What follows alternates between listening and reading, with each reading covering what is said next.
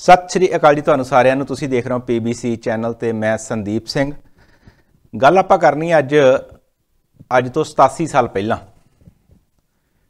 ਜੇ ਆਪਾਂ 2024 ਦੇ ਵਿੱਚ ਆਪਾਂ ਪਹੁੰਚ ਗਏ, ਜੇ ਅੱਜ ਆਪਾਂ 87 ਸਾਲ ਜੇ ਪਿੱਛੇ ਨੂੰ ਚਲੇ ਜਾਈਏ, ਤੇ 1936 ਸਨ ਜੇ 1936 ਸਨ ਦੀ ਆਪਾਂ ਗੱਲ ਕਰੀਏ, ਤੇ 1936 ਸਨ ਦੇ ਵਿੱਚ ਜਿਹੜੇ ਸਾਡੇ ਬੱਚੇ ਭਾਰਤ, ਪੰਜਾਬ ਦੇ ਵਿੱਚ ਪੈਦਾ ਹੋਏ।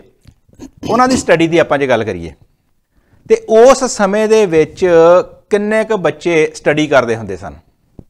ਜੇ ਆਪਾਂ ਉਸ ਸਟੱਡੀ ਦੀ ਗੱਲ ਕਰੀਏ, ਤੇ ਜਿਨ੍ਹਾਂ ਨੇ ਉਸ ਸਮੇਂ ਦੇ ਵਿੱਚ ਸਟੱਡੀ ਕੀਤੀ, ਤਾਂ ਉਹ ਦੁਨੀਆ ਦੇ ਵਿੱਚ ਉਹਨਾਂ ਦਾ ਨਾਂ ਜਿਹੜਾ, ਉਹ ਜਾਣਿਆ ਜਾਂਦਾ। ਚਾਹੇ ਉਹ ਡਾਕਟਰ ਮਨਮੋਹਨ ਸਿੰਘ ਹੋਣ, ਜਿਹੜੇ ਮੌਜੂਦਾ ਉਹਨਾਂ ਨੇ ਪਿਛਲੇ ਇਹ ਸਾਲਾਂ ਦੇ ਵਿੱਚ ਭਾਰਤ ਦੇ ਪ੍ਰਾਈਮ ਮਿਨਿਸਟਰ ਪ੍ਰਾਈਮ ਮਿਨਿਸਟਰ ਵੀ ਰਹੇ ਤੇ ਉਹਨਾਂ ਨੇ ਭਾਰਤ ਦੇ ਖਜ਼ਾਨਾ ਮੰਤਰੀ ਵਜੋਂ ਵੀ ਕੰਮ ਕੀਤਾ। ਪਰ ਜਦੋਂ ਉਹਨਾਂ ਨੇ ਭਾਰਤ ਦੇ ਖਜ਼ਾਨਾ ਮੰਤਰੀ ਵਜੋਂ ਕੰਮ ਕੀਤਾ, ਤੇ ਉਹਨਾਂ ਨੇ ਇੱਕ ਆਪਣਾ ਇਹੋ ਜਿਹਾ ਚਿਹਰਾ ਪੂਰੀ ਦੁਨੀਆ ਦੇ ਵਿੱਚ ਬਣਾ ਲਿਆ ਕਿ ਪੂਰੀ ਦੁਨੀਆ ਦੇ ਵਿੱਚ ਉਹਨਾਂ ਨੂੰ ਜਾਣਿਆ ਜਾਣ ਲੱਗਾ, ਕਿਉਂਕਿ ਉਸ ਹਿਸਾਬ ਨਾਲ ਉਸ ਹਿਸਾਬ ਦੇ ਨਾਲ ਜਿਹੜੀ ਦੇਸ਼ ਦੀ ਜੀਡੀਪੀ ਸੀ ਜਿਹੜੀ ਦੇਸ਼ ਦੀ ਹਾਲਾਤ ਸਨ, ਉਹ ਖਰਾਬ ਹਾਲਾਤਾਂ ਦੇ ਵਿੱਚੋਂ ਉਹਨਾਂ ਨੇ ਇਹੋ ਜਿਹਾ ਇੱਕ ਮਾਹੌਲ ਸਿਰਜਿਆ, ਇਹੋ ਜਿਹਾ ਆਪਣੇ ਦਿਮਾਗ ਦੇ ਨਾਲ ਇਹ ਇੱਕ ਪ੍ਰੋਗਰਾਮ ਲਿਆਂਦਾ ਕਿ ਦੇਸ਼ ਨੂੰ ਕਿਤਿਓਂ ਕਿੱਥੇ, ਕਿੱਤੇ ਤੱਕ ਲੈ ਗਏ, ਯਾਨੀ ਕਿ ਫਰਸ਼ਾਂ ਤੋਂ ਅਰਸ਼ਾਂ ਤੱਕ। ਉਹਨਾਂ ਸਮਿਆਂ ਦੇ ਵਿੱਚ ਪੜ੍ਹਾਈ ਦੀ ਆਪਾਂ ਗੱਲ ਕਰੀਏ, ਅਪ, ਵੱਧ ਤੋਂ ਵੱਧ ਜਿਹੜੀਆਂ ਨੌਜਵਾਨ ਸਨ, ਵੈਸੇ ਕੁੜੀਆਂ ਨੂੰ ਤਾਂ ਉਦੋਂ ਘੱਟ ਪੜਨ ਦਿੱਤਾ ਜਾਂਦਾ ਸੀ, ਜ਼ਿਆਦਾਤਰ ਜਿਹੜੇ ਆਪਣੇ ਮਰਦ ਹੀ ਜਿਹੜੇ ਸਕੂਲਾਂ ਦੇ ਵਿੱਚ ਜਾਂਦੇ ਸਨ, ਪਰ ਉਹ ਪੜ੍ਹਾਈ ਜਿਹੜੀ ਕੀਤੀ ਜਾਂਦੀ ਸੀ, ਉਹ ਵੱਧ ਤੋਂ ਵੱਧ ਕੋਈ ਬਾਹਲਾ ਪੜ ਗਿਆ ਤੇ ਬੀਏ ਤੱਕ। ਉਸ ਸਮੇਂ ਦੀ ਕੀਤੀ ਹੋਈ ਪੜ੍ਹਾਈ ਜਿਹੜੀ ਆ, ਉਹ ਵਿਦੇਸ਼ਾਂ ਦੇ ਵਿੱਚ ਵੀ ਰੰਗ ਲੈ ਕੇ ਆਈ। ਭਾਰਤ ਦੇ ਵਿੱਚੋਂ, ਪੰਜਾਬ ਦੇ ਵਿੱਚੋਂ ਪੜ੍ਹਾਈ ਕਰਕੇ ਬਾਹਰਲੇ ਮੁਲਕਾਂ ਦੇ ਵਿੱਚ ਆ ਕੇ ਇੱਥੇ ਦੀ ਜਨਰੇਸ਼ਨ ਨੂੰ ਪੜਾਉਣਾ ਇੱਕ ਬਹੁਤ ਹੀ ਵੱਡਾ, ਇੱਕ ਅਹਿਮ ਇਹਨੂੰ ਆਪਾਂ ਕਹਿ ਸਕਦੇ ਹਾਂ ਕਿ ਇਹ ਤੁਸੀਂ ਇੱਥੋਂ ਅੰਦਾਜ਼ਾ ਲਾ ਲਓ ਕਿ ਜਦੋਂ ਜਿੱਥੇ ਵੀ ਤੁਸੀਂ ਉਸ ਪੜ੍ਹਾਈ ਨੂੰ, ਭਾਰਤ ਦੇ ਵਿੱਚ ਕੀਤੀ ਹੋਈ ਪੜ੍ਹਾਈ ਬਾਹਰ ਦੇ ਵਿੱਚ ਆ ਕੇ ਤੁਸੀਂ ਉਹਨਾਂ ਸਕੂਲਾਂ ਦੇ ਵਿੱਚ, ਉਹਨਾਂ ਕਾਲਜਾਂ ਦੇ ਵਿੱਚ ਉਹਨਾਂ ਯੂਨੀਵਰਸਿਟੀਆਂ ਦੇ ਵਿੱਚ, ਜਿਨ੍ਹਾਂ ਨੂੰ ਪੂਰੀ ਦੁਨੀਆ ਦੇ ਵਿੱਚ ਜਾਣਿਆ ਜਾਂਦਾ ਕਿ ਇੱਥੇ ਦਾ ਪੜਿਆ ਹੋਇਆ ਨੌਜਵਾਨ ਗ੍ਰਾਮਰ ਸਕੂਲ ਦੀ ਆਪਾਂ ਜੇ ਆਪਾਂ ਗੱਲ ਕਰ ਲਈਏ ਤੇ ਗ੍ਰਾਮਰ ਸਕੂਲ ਦੇ ਵਿੱਚ ਇੱਥੇ ਬੱਚੇ ਅੱਜ ਇੱਕ ਮਾਪੇ ਦਾ ਸੁਪਨਾ ਹੁੰਦਾ ਹੈ ਕਿ ਸਾਡੇ ਬੱਚੇ ਗ੍ਰਾਮਰ ਸਕੂਲ ਦੇ ਵਿੱਚ ਪੜਨ ਕਿਉਂਕਿ ਉੱਥੇ ਦੀ ਇੱਕ ਭਵਿੱਖ ਉਥੋਂ ਦਾ ਉਹ ਜਿਸ ਜਿਹੜਾ ਬੱਚਾ ਜਾਂ ਬੱਚੀ ਉਸ ਸਕੂਲ ਦੇ ਵਿੱਚ ਪੜ ਕੇ ਬਾਹਰ ਨਿਕਲਦੇ ਆਉਣੇ ਤੇ ਮਾਪੇ ਨੂੰ ਇੱਕ ਭਵਿੱਖ ਨਜ਼ਰ ਆਉਂਦਾ ਕਿ ਇਸ ਸਾਡਾ ਬੱਚਾ ਜੇ ਗ੍ਰਾਮਰ ਸਕੂਲ ਦੇ ਵਿੱਚ ਪੜ ਗਿਆ ਤੇ ਆਉਣ ਵਾਲੇ ਸਮੇਂ ਦੇ ਵਿੱਚ ਜਿਹੜਾ ਸਾਡਾ ਬੱਚਾ ਹੈ ਨਾ, ਉਹ ਕਿਸੇ ਨਾ ਕਿਸੇ ਲੈਵਲ ਤੱਕ ਜ਼ਰੂਰ ਪਹੁੰਚੇਗਾ। ਤੇ ਹੁੰਦਾ ਵੀ ਪਰ ਗ੍ਰਾਮਰ ਸਕੂਲ ਦੇ ਵਿੱਚ ਦਾਖਲਾ ਲੈਣਾ ਕੋਈ ਸੌਖੀ ਗੱਲ ਨਹੀਂ, ਬਹੁਤ ਔਖੀ ਗੱਲ ਆ। ਕਿੰਨੇ ਕਿੰਨੇ ਟੈਸਟ ਪਾਸ ਕਰਨੇ ਪੈਂਦੇ ਨੇ, ਉਸ ਤੋਂ ਬਾਅਦ ਜਿਹੜੀ ਆ ਗ੍ਰਾਮਰ ਸਕੂਲ ਦੇ ਵਿੱਚ ਜਾ ਕੇ ਦਾਖਲਾ ਮਿਲਦਾ। ਪਰ ਗ੍ਰਾਮਰ ਸਕੂਲ ਦੇ ਵਿੱਚ ਪੜਾਉਣਾ ਇਹ ਤੁਸੀਂ ਹੁਣ ਦੇਖੋ, ਉਹਦੇ ਵਿੱਚ ਦਾਖਲਾ ਲੈਣਾ ਬਹੁਤ ਆ, ਪਰ ਗ੍ਰਾਮਰ ਸਕੂਲ ਦੇ ਵਿੱਚ ਜਾ ਕੇ ਪੜਾਉਣਾ ਤੇ ਉਹ ਵੀ ਭਾਰਤ ਦੀ ਧਰਤੀ ਤੋਂ, ਪੰਜਾਬ ਦੀ ਧਰਤੀ ਤੋਂ ਪੜ੍ਹ ਕੇ ਆਏ, ਇੰਗਲੈਂਡ ਦੇ ਵਿੱਚ ਆ ਕੇ ਗ੍ਰਾਮਰ ਸਕੂਲ ਦੇ ਵਿੱਚ ਇੱਥੇ ਦੇ ਬੱਚਿਆਂ ਨੂੰ ਸਟੱਡੀ ਕਰਾਉਣੀ। ਤੇ ਉਹ, ਉਸ ਇੱਕ ਮਹਾਨ ਸ਼ਖਸੀਅਤ ਦੇ ਵਿੱਚੋਂ ਸਾਡੇ ਕੋਲ ਅੱਜ ਪਹੁੰਚੇ ਨੇ ਪਰਮਜੀਤ ਸਿੰਘ ਹੁੰਦਲ। ਪ੍ਰੋਗਰਾਮ ਦੇ ਵਿੱਚ ਅੱਜ ਅਸੀਂ ਉਹਨਾਂ ਨੂੰ ਲੈ ਕੇ ਆਂਦਾ ਕਿ ਆਪਣੇ ਬਾਰੇ ਥੋੜੀ ਜਿਹੜੀ ਜਾਣਕਾਰੀ ਦਿਓ, ਕਿਉਂਕਿ ਜਿੱਦਾਂ ਮੈਂ ਸ਼ੁਰੂ ਤੋਂ ਗੱਲ ਕੀਤੀ ਨਾ, ਕਿ ਉਸ ਸਮੇਂ ਦੇ ਵਿੱਚ ਪੜ੍ਹਾਈਆਂ ਕਰਨੀਆਂ ਬਹੁਤ ਔਖੀਆਂ ਸਨ। ਕਿਉਂਕਿ ਇਹ ਪੜ੍ਹਾਈ ਵੱਲ ਤਾਂ ਬਹੁਤ ਘੱਟ ਇੰਟਰਸਟ ਹੁੰਦਾ ਸੀਗਾ ਆਪਣੇ ਬੱਚਿਆਂ ਦਾ ਮਾਪਿਆਂ ਦਾ। ਪਰ ਉਸ ਸਮੇਂ ਦੇ ਵਿੱਚ ਜਿਹੜੀ ਪੜ੍ਹਾਈ ਕੀਤੀ ਆਪਾਂ ਉਹਨਾਂ ਦੇ ਮੂੰਹੋਂ ਉਹਨਾਂ ਦੀ ਜਵਾਨੀ ਅੱਜ ਜਾਣਦੇ ਆ ਕਿ ਉਹਨਾਂ ਦਾ ਕੀ ਕਹਿਣਾ ਨਾ ਉਹਨਾਂ ਦਾ ਕਰਦੇ ਆ ਸਵਾਗਤ ਫਿਰ ਆਪਾਂ ਕਰਦੇ ਆ ਗੱਲਾਂ ਬਾਤਾਂ। ਹੁੰਦਲ ਸਾਹਿਬ ਸਤਿ ਸ੍ਰੀ ਅਕਾਲ ਜੀ। ਸਤਿ ਸ੍ਰੀ ਅਕਾਲ ਜੀ। ਸਵਾਗਤ ਹੈ ਜੀ ਤੁਹਾਡਾ ਪ੍ਰੋਗਰਾਮ ਦੇ ਵਿੱਚ ਬਹੁਤ-ਬਹੁਤ ਆਪਣੇ ਬਾਰੇ ਥੋੜੀ ਜੀ ਸਾਡੇ ਦਰਸ਼ਕਾਂ ਨੂੰ ਜਾਣਕਾਰੀ ਦਿਓ। ਕਦੋਂ ਤੁਹਾਡਾ ਜਨਮ ਹੁੰਦਾ ਕਿਹੜੇ ਪਿੰਡ ਦੇ ਵਿੱਚ ਜਨਮ ਹੁੰਦਾ ਤੇ ਆਪਣੀ ਐਜੂਕੇਸ਼ਨ ਬਾਰੇ। ਥੈਂਕ ਯੂ ਜੀ। ਮੈਂ ਜਨਮ ਮੇਰਾ ਹੋਇਆ 30 ਜੁਲਾਈ 1936 ਕਾਲਾ ਸੰਘਿਆ ਚ। ਕਾਲਾ ਸੰਘਿਆ 30 ਜੁਲਾਈ। ਕਾਲਾ ਸੰਘਿਆ। ਜੀ। ਤੇ ਉੱਥੇ ਮੈਂ ਗਰੋ ਅਪ ਕੀਤਾ। ਜੀ। ਉੱਥੇ ਕਾਲਾ ਸੰਘਿਆ ਸਕੂਲ ਚ ਪੜਿਆ ਜੀ। 10ਵੀਂ ਕੀਤੀ। ਹਾਂ। ਤੇ ਫਿਰ ਉਸ ਤੋਂ ਬਾਅਦ ਮੈਂ ਕਾਲਜ ਗਿਆ। ਅੱਛਾ ਕਾਲਜ ਫੇ ਕਿਹੜੇ ਕਾਲਜ ਲਾਇਲਪੁਰ ਖਾਲਸਾ ਕਾਲਜ ਜਲੰਧਰ। ਅੱਛਾ ਜੀ। ਲਾਇਲਪੁਰ ਖਾਲਸਾ ਕਾਲਜ ਜਲੰਧਰ ਤੋਂ ਇੰਟਰ ਕਰਕੇ ਜੀ। ਫਿਰ ਮੈਂ ਖਾਲਸਾ ਕਾਲਜ ਅੰਮ੍ਰਿਤਸਰ ਤੋਂ ਬੀਏ ਕੀਤੀ। ਕੀ? ਤੇ ਉਸ ਤੋਂ ਬਾਅਦ ਫਿਰ ਮੈਂ ਯੂਨੀਵਰਸਿਟੀ ਵਿੱਚ ਐਡਮਿਸ਼ਨ ਲਈ ਪੰਜਾਬ ਯੂਨੀਵਰਸਿਟੀ ਚੰਡੀਗੜ੍ਹ। ਅੱਛਾ ਜੀ। ਤੇ ਉੱਥੋਂ ਫਿਰ 3 ਸਾਲ ਲਾ ਕੇ ਅਸੀਂ ਐਮਐਸਸੀ ਕੀਤੀ। ਇਹ ਇਹ ਇਹ ਕਿਹੜੇ ਸੰਨ ਦੀ ਤੁਸੀਂ ਗੱਲ ਕਰ ਰਹੇ ਹੋ ਅਸੀਂ ਇਹ ਇਹ ਕੀਤੀ ਐਮਐਸਸੀ ਕੀਤੀ ਅਸੀਂ 1961 ਚ। 1961 ਦੇ ਵਿੱਚ ਤੁਸੀਂ 61 ਐਮਐਸਸੀ ਜਿਹੜੀ ਉਹ ਕੀਤੀ ਆ। ਪੰਜਾਬ ਯੂਨੀਵਰਸਿਟੀ ਆਫ ਚੰਡੀਗੜ੍ਹ ਤੋਂ। ਜੀ। ਅਸੀਂ ਪੰਜਾਬ ਯੂਨੀਵਰਸਿਟੀ ਦੇ ਪਹਿਲੇ ਸਟੂਡੈਂਟਸ ਹਾਂ ਚੰਡੀਗੜ੍ਹ ਕੈਂਪਸ ਤੇ। ਜੀ। Pioneers of Punjab university Chandigarh campus. ਜੀ। ਤੇ ਉੱਥੇ ਸਰਦਾਰ ਮਨਮੋਹਨ ਸਿੰਘ ਹੁਣੀ ਵੀ ਪ੍ਰੋਫੈਸਰ ਹੁੰਦੇ ਸੀ ਇਕਨੋਮਿਕਸ ਦੇ। ਅੱਛਾ। ਤੇ ਸਾਡੇ ਨਾਲ ਹੀ ਉੱਥੇ ਕੈਂਟੀਨ ਦੇ ਵਿੱਚ ਮਿਲਦੇ ਹੁੰਦੇ ਸੀ। ਹਾਂ। ਖੈਰ ਉਹ ਪ੍ਰੋਫੈਸਰ ਹੁੰਦੇ ਸੀ ਸਟੂਡੈਂਟ ਹੁੰਦੇ ਤੁਸੀਂ ਸੀ। ਸਟੂਡੈਂਟ ਸੀ ਉਹਨਾਂ ਦੇ। ਇੰਨੀ ਤਾਂ ਗੱਲਬਾਤ ਅੱਛਾ। ਤੁਹਾਨੂੰ ਤੁਹਾਨੂੰ ਵੀ ਉਹਨਾਂ ਨੇ ਪੜਾਇਆ ਜੀ?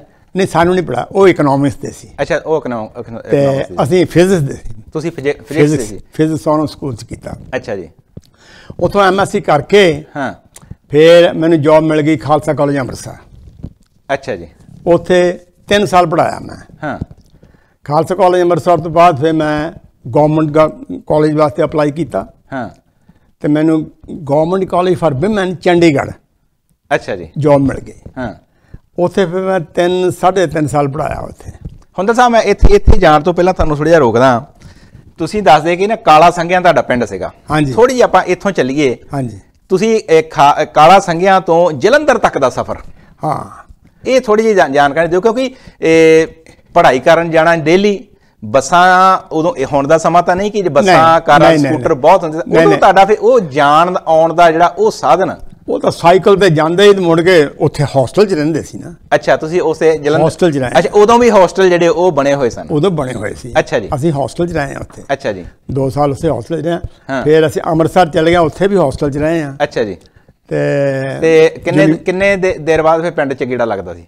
ਹਾਂਜੀ? ਕਿੰਨੇ ਚਿਰ ਬਾਅਦ ਫਿਰ ਪਿੰਡ ਚ ਗੇੜਾ ਲੱਗਦਾ ਸੀ? ਜਦੋਂ ਜਦੋਂ ਉਦੋਂ hostel- ਹਫ਼ਤੇ ਬਾਅਦ ਚਲੇ ਜਾਈਦਾ ਸੀ। ਅੱਛਾ, ਹਫ਼ਤੇ ਬਾਅਦ। ਸਾਈਕਲ ਕੋਲ ਹੁੰਦਾ ਸੀ। ਅੱਛਾ ਜੀ। ਸਾਈਕਲ ਕੇ ਪਿੰਡ ਚਲੇ ਗਏ ਅੱਛਾ ਜੀ। ਤੇ ਫਿਰ ਅੰਮ੍ਰਿਤਸਰ ਚਲੇ ਗਏ। ਉੱਥੋਂ ਤਾਂ ਫਿਰ ਕਦੀ ਕਦੀ ਆਈਦਾ ਸੀ ਪਿੰਡ। ਮਤਲਬ ਮਤਲਬ ਅੰਮ੍ਰਿਤਸਰ ਤੱਕ ਵੀ ਤੁਹਾਡਾ ਜਿਹੜਾ ਸਾਈਕਲ ਤੇ ਸਫ਼ਰ ਸੀਗਾ? ਨਹੀਂ ਨਹੀਂ ਅੰਮ੍ਰਿਤਸਰ ਤਾਂ ਫਿਰ ਬੱਸ ਵਿੱਚ ਹੀ ਗਏ। ਅੱਛਾ ਉਦੋਂ ਬੱਸਾਂ ਦਾ ਕੀ ਸਿਸਟਮ ਸੀਗਾ ਜੀ ਉਦੋਂ? ਬੱਸਾਂ ਦਾ ਨਾਰਮਲ ਬੱਸਾਂ ਚੱਲਦੀਆਂ ਸੀ। ਐਸਾ ਇਹ ਮੰਨ ਲਓ ਚੱਲ ਪਈਆਂ ਸੀ ਜਿੱਦਾਂ ਪਹਿਲਾਂ ਜਿੱਦਾਂ ਸੀਗੀਆਂ ਨਾ ਕਪੂਰਥਲੇ ਤੋਂ ਸਿੱਧੀ ਅੰਮ੍ਰਿਤਸਰ। ਕਰਪੂਰਥਲਾ ਸਿੱਧੀ ਅੰਮ੍ਰਿਤਸਰ ਚੱਲ ਪਈ ਸੀ ਬਸ। ਕਾਲੇ ਤੋਂ ਕਪੂਰਥਲਾ ਕਪੂਰਥਲੇ ਤੋਂ ਅੰਮ੍ਰਿਤਸਰ। ਠੀਕ ਹੈ ਜੀ। ਤੇ ਫਿਰ ਫਿਰ ਯੂਨੀਵਰਸਿਟੀ ਗਏ। ਹੂੰ। ਤੇ ਯੂਨੀਵਰਸਿਟੀ ਦੇ ਵਿੱਚ ਉੱਥੇ ਵੀ ਅਸੀਂ ਹੋਸਟਲ 'ਚ ਹੀ ਰਹਿੰਦੇ ਰਹੇ ਹਾਂ। ਅੱਛਾ ਜੀ।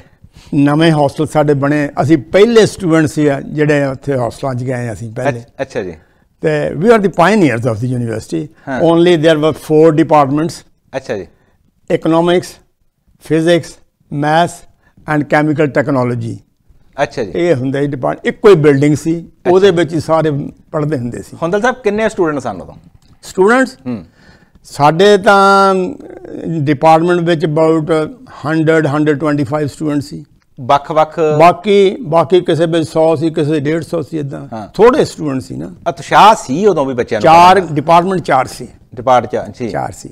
ਜੀ। ਤੇ ਇਹ ਤੁਹਾਨੂੰ ਜਿਹੜਾ ਇਹ ਪੜ੍ਹਾਈ ਦਾ ਇੰਨੇ ਹਾਈ ਲੈਵਲ ਤੱਕ ਐਜੂਕੇਸ਼ਨ ਦਾ ਕੀ ਮਾਂ ਮਾਤਾ ਪਿਤਾ ਵੱਲੋਂ ਸਪੋਰਟ ਸੀ ਜਾਂ ਤੁਸੀਂ ਕੀ ਮੇਰੇ ਕਿਹਦੇ ਵੱਲੋਂ ਤੁਹਾਨੂੰ ਇਹ ਮੇਰੇ ਮੇਰੇ ਮਾਮਾ ਜੀ ਹਾਂਜੀ। ਉਹ ਦੋਨੋਂ ਮੇਜਰ ਸੀ ਆਰਮੀ 'ਚ। ਆਰਮੀ ਦੇ ਵਿੱਚ। ਮੇਰੇ ਫਾਦਰ ਦੀ ਡੈਥ ਹੋ ਗਈ when I was 8 year old ਅੱਛਾ ਤੁਸੀਂ 8 ਸਾਲ ਦੇ ਸੀ ਉਦੋਂ? 8 ਸਾਲ ਦੇ। ਅੱਛਾ। ਤਾਂ ਮੇਰੀ ਮਦਰ ਤੇ ਮੇਰੇ ਸਾਰੇ ਬ੍ਰਦਰ ਵੀ ਆਰ ਫੋਰ ਬ੍ਰਦਰਸ ਹਾਂ। ਤੇ ਸਾਰੇ ਫਿਰ ਸਾਡੇ ਨਾਨਾ ਜੀ ਸਾਨੂੰ ਕਾਲੇ ਲੈ ਆਏ। ਉਹਨਾਂ ਨੂੰ। ਮੈਂ ਤਾਂ ਪਹਿਲਾਂ ਹੀ ਕਾਲੇ ਰਿਹਾ ਸੀ। ਕੋ ਤੁਸੀਂ ਅੱਛਾ ਕਾਲੇ ਸੰਗਿਆ ਲੈ ਆਏ ਉਹਨਾਂ ਉਹ ਬਾਕੀਆਂ ਨੂੰ ਵੀ ਲਾਏ ਉੱਥੇ। ਅੱਛਾ। ਫਿਰ ਸਾਰੇ ਅਸੀਂ ਉੱਥੇ ਪੜ੍ਹੇ ਹਾਂ। ਤੇ ਮੇਰੇ ਮਾਮਾ ਜਿਹੜੇ ਉਹ ਬਹੁਤ ਸ਼ੌਕੀਨ ਸੀਗੇ ਸੀ ਪੜ੍ਹਾਈ ਦੇ। ਹਾਂ। ਉਹ ਕਹਿੰਦਾ you must get the maximum education ਅੱਛਾ।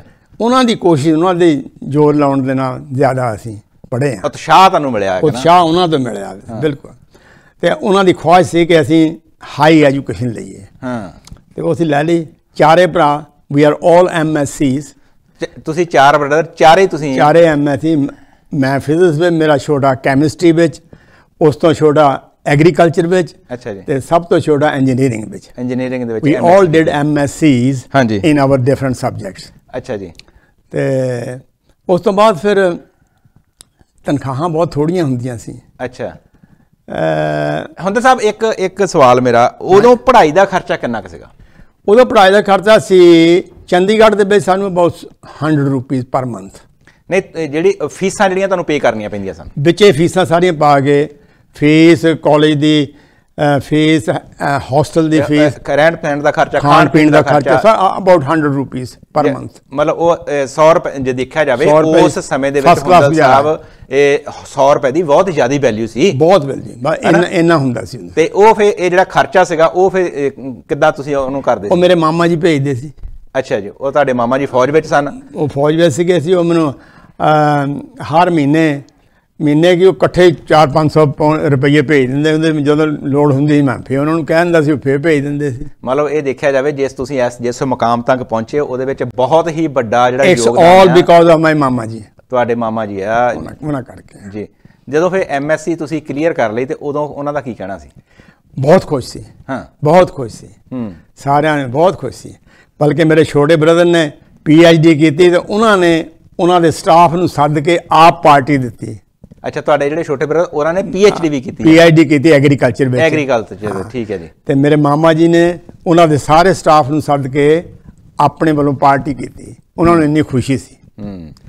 ਤੇ- ਉਦੋਂ ਹੁੰਦਲ ਸਾਹਿਬ ਇਹ ਜਿਹੜੇ ਆਪਣੇ ਪੜਾਉਣ ਵਾਲੇ ਕੌਣ ਸਨ? ਆਪਣੇ ਪੰਜਾਬ ਦੇ ਹੀ ਸਨ ਜਾਂ ਹੁਣ ਜੇ ਹਿਸਾਬ ਨਾਲ ਹਾਲਾਤ ਬਦਲੇ ਨੇ ਜਾਂ ਫਿਰ ਬਾਹਰਲੀਆਂ ਸਟੇਟਾਂ ਦੇ ਆ ਕੇ ਜਿਹੜੇ ਪ੍ਰੋਫੈਸਰ ਤੁਸੀਂ ਗੱਲ ਕੀਤੀ ਪ੍ਰੋਫੈਸਰ ਡਾਕਟਰ ਮਨਮੋਹਨ ਸਿੰਘ ਹੁਣਾਂ ਦੀ। ਜਿਹੜੇ ਸਾਡੇ ਪ੍ਰਧਾਨ ਮੰਤਰੀ ਵੀ ਰਹੇ ਨੇ ਪਿਛਲੇ ਸਮੇਂ ਦੇ ਵਿੱਚ। ਉਹ ਇਕਨੋਮਿਕਸ ਵਿੱਚ ਸੀ। ਇਕਨੋਮਿਕਸ ਦੇ ਤੇ ਬਾਕੀ ਜਿਹੜੇ ਪ੍ਰੋਫੈਸਰ ਸਨ ਉਹ ਕਿੱਥੋਂ ਦੇ ਸਨ? ਉਹ ਸਾਡੇ ਅੱਧਿਓਂ ਜ਼ਿਆਦਾ ਪੰਜਾਬ ਦੇ ਹੀ ਸੀ। ਅੱਛਾ ਜੀ। ਬਾਕੀ ਕੁਝ ਅਦਰ ਸਟੇਟ ਦੇ ਕੋਈ ਉੜੀਸਾ ਚੋਂ ਸੀ ਕੋਈ ਯੂਪੀ ਤੋਂ ਸੀ। ਹਾਂ। ਤੇ ਦੋ ਚਾਰ ਬਾਹਰਲੇ ਵੀ ਸੀ। ਹੂੰ। ਇੱਕ ਸਾਊਥ ਵਿੱਚੋਂ ਆਇਆ ਸੀ। ਅੱਛਾ ਜੀ। ਡਾਕਟਰ ਸੁੰਦਰੇਸ਼ਨ ਸੀ ਉਹਦਾ ਨਾਮ ਬਾਕੀ ਮੈਜੋਰਟੀ ਪੰਜਾਬ ਦੇ ਸੀ। ਸਾਡੇ ਪ੍ਰੋਫੈਸਰ ਜਿਹੜੇ ਸੀ। ਜਿਹੜੀ ਪੰਜਾਬ ਸੀ ਪੰਜਾਬ ਦੇ। ਪੰਜਾਬ ਦੇ ਸੀ। ਜਦੋਂ ਤੁਸੀਂ ਡਾਕਟਰ ਮਨਮੋਹਨ ਸਿੰਘ ਨੂੰ ਮਿਲੇ ਹਾਂਜੀ। ਕਦੀ ਸੋਚਿਆ ਸੀ ਕਿ ਸਾਡੇ ਦੇਸ਼ ਦੇ ਪ੍ਰਧਾਨ ਨਾ ਨਾ ਨਾ ਕੋਈ ਕਦੇ ਵੀ ਨਹੀਂ ਸੋਚ ਸਕਦੇ। ਪਰ ਇਹ ਦੱਸਦੇ ਸੀ ਉਹਦੇ ਸਟੂਡੈਂਟ ਜਿਹੜੇ ਸੀ ਨਾ। ਉਹ ਕਹਿੰਦੇ ਵੀ ਬਹੁਤ ਇੰਟੈਲੀਜੈਂਟ ਬੰਦਾ ਹੈ ਹਾਂ। ਇਹ ਸਿੱਧਾ ਹੀ ਆ ਕੇ ਪ੍ਰੋਫੈਸਰ ਲੱਗਿਆ ਕਹਿੰਦੇ। ਅੱਛਾ ਡਾਇਰੈਕਟਲੀ ਪ੍ਰੋਫੈਸਰ ਉਹ ਜਿਹੜੀ ਉਹਨਾਂ ਦੀ ਇੰਗਲੈਂਡ ਹੈ। ਤੋਂ ਪੜ੍ਹ ਕੇ ਗਿਆ ਸੀ ਤੇ ਪ੍ਰੋਫੈਸਰ ਲੱਗਿਆ ਸਿੱਧਾ। ਆਮ ਤੌਰ ਤੇ ਲੈਕਚਰਰ ਲੱਗਦੇ ਆ ਫਿਰ ਸੀਨੀਅਰ ਲੈਕਚਰਰ ਬਣਦੇ ਆ। ਅੱਛਾ ਜੀ। ਤੇ ਉਹ ਪ੍ਰੋਫੈਸਰ ਲੱਗਿਆ ਸੀ ਆ ਕੇ। ਸਿੱਧਾ ਉਹਨਾਂ ਨੇ ਜਿਹੜਾ ਮਤਲਬ ਉਹ ਪੜ੍ਹ ਕੇ ਸ਼ਾਇਦ ਇੱਥੋਂ ਇੰਗਲੈਂਡ ਹਾਂ, ਤੋਂ ਗਏ ਸੀ। ਹਾਂ। ਸ਼ਾਇਦ ਉਹਨਾਂ ਦੀਆਂ ਜੇ ਮੈਂ ਗਲਤ ਨਾ ਹੋਵਾਂ ਤਾਂ ਕਹਿੰਦੇ ਜੀ ਉਹਨਾਂ ਦੀਆਂ ਜਿਹੜੀਆਂ ਕਿਤਾਬਾਂ ਵੀ ਹੈ ਜਿਹੜੀਆਂ ਆਕਸਫੋਰਡ ਯੂਨੀਵਰਸਿਟੀ ਵਿੱਚ ਉਹਨਾਂ ਦੀਆਂ ਹਾਂ। ਉਹ ਲੱਗੀਆਂ ਹੋਈਆਂ ਨੇ। ਉਹ ਸਟੂਡੈਂਟ ਦੱਸਦੇ ਹੁੰਦੇ ਸੀ ਸਾਨੂੰ ਤੇ he is very intelligent that's why ਉਹਦੀ ਡਿਗਰੀਜ਼ ਬਹੁਤ ਜ਼ਬਰਦਸਤ ਆ। ਹੂੰ। ਤੇ ਸਿੱਧਾ ਪ੍ਰੋਫੈਸਰ ਲੱਗਿਆ ਆ ਕੇ। ਬਿਲਕੁਲ ਜੀ ਦੇਖੋ ਜੀ ਇਹਨਾਂ ਨੇ ਮੈਂ ਜਿੱਦਾਂ ਪਹਿਲਾਂ ਸ਼ੁਰੂ 'ਚ ਗੱਲ ਕੀਤੀ ਸੀ ਨਾ ਦੇਖੋ ਉਹਨਾਂ ਨੇ ਇਹ ਭਾਰਤ ਨੂੰ ਉਸ ਸੱਤਾ ਦੇ ਵਿੱਚ ਲਿਆਂਦਾ।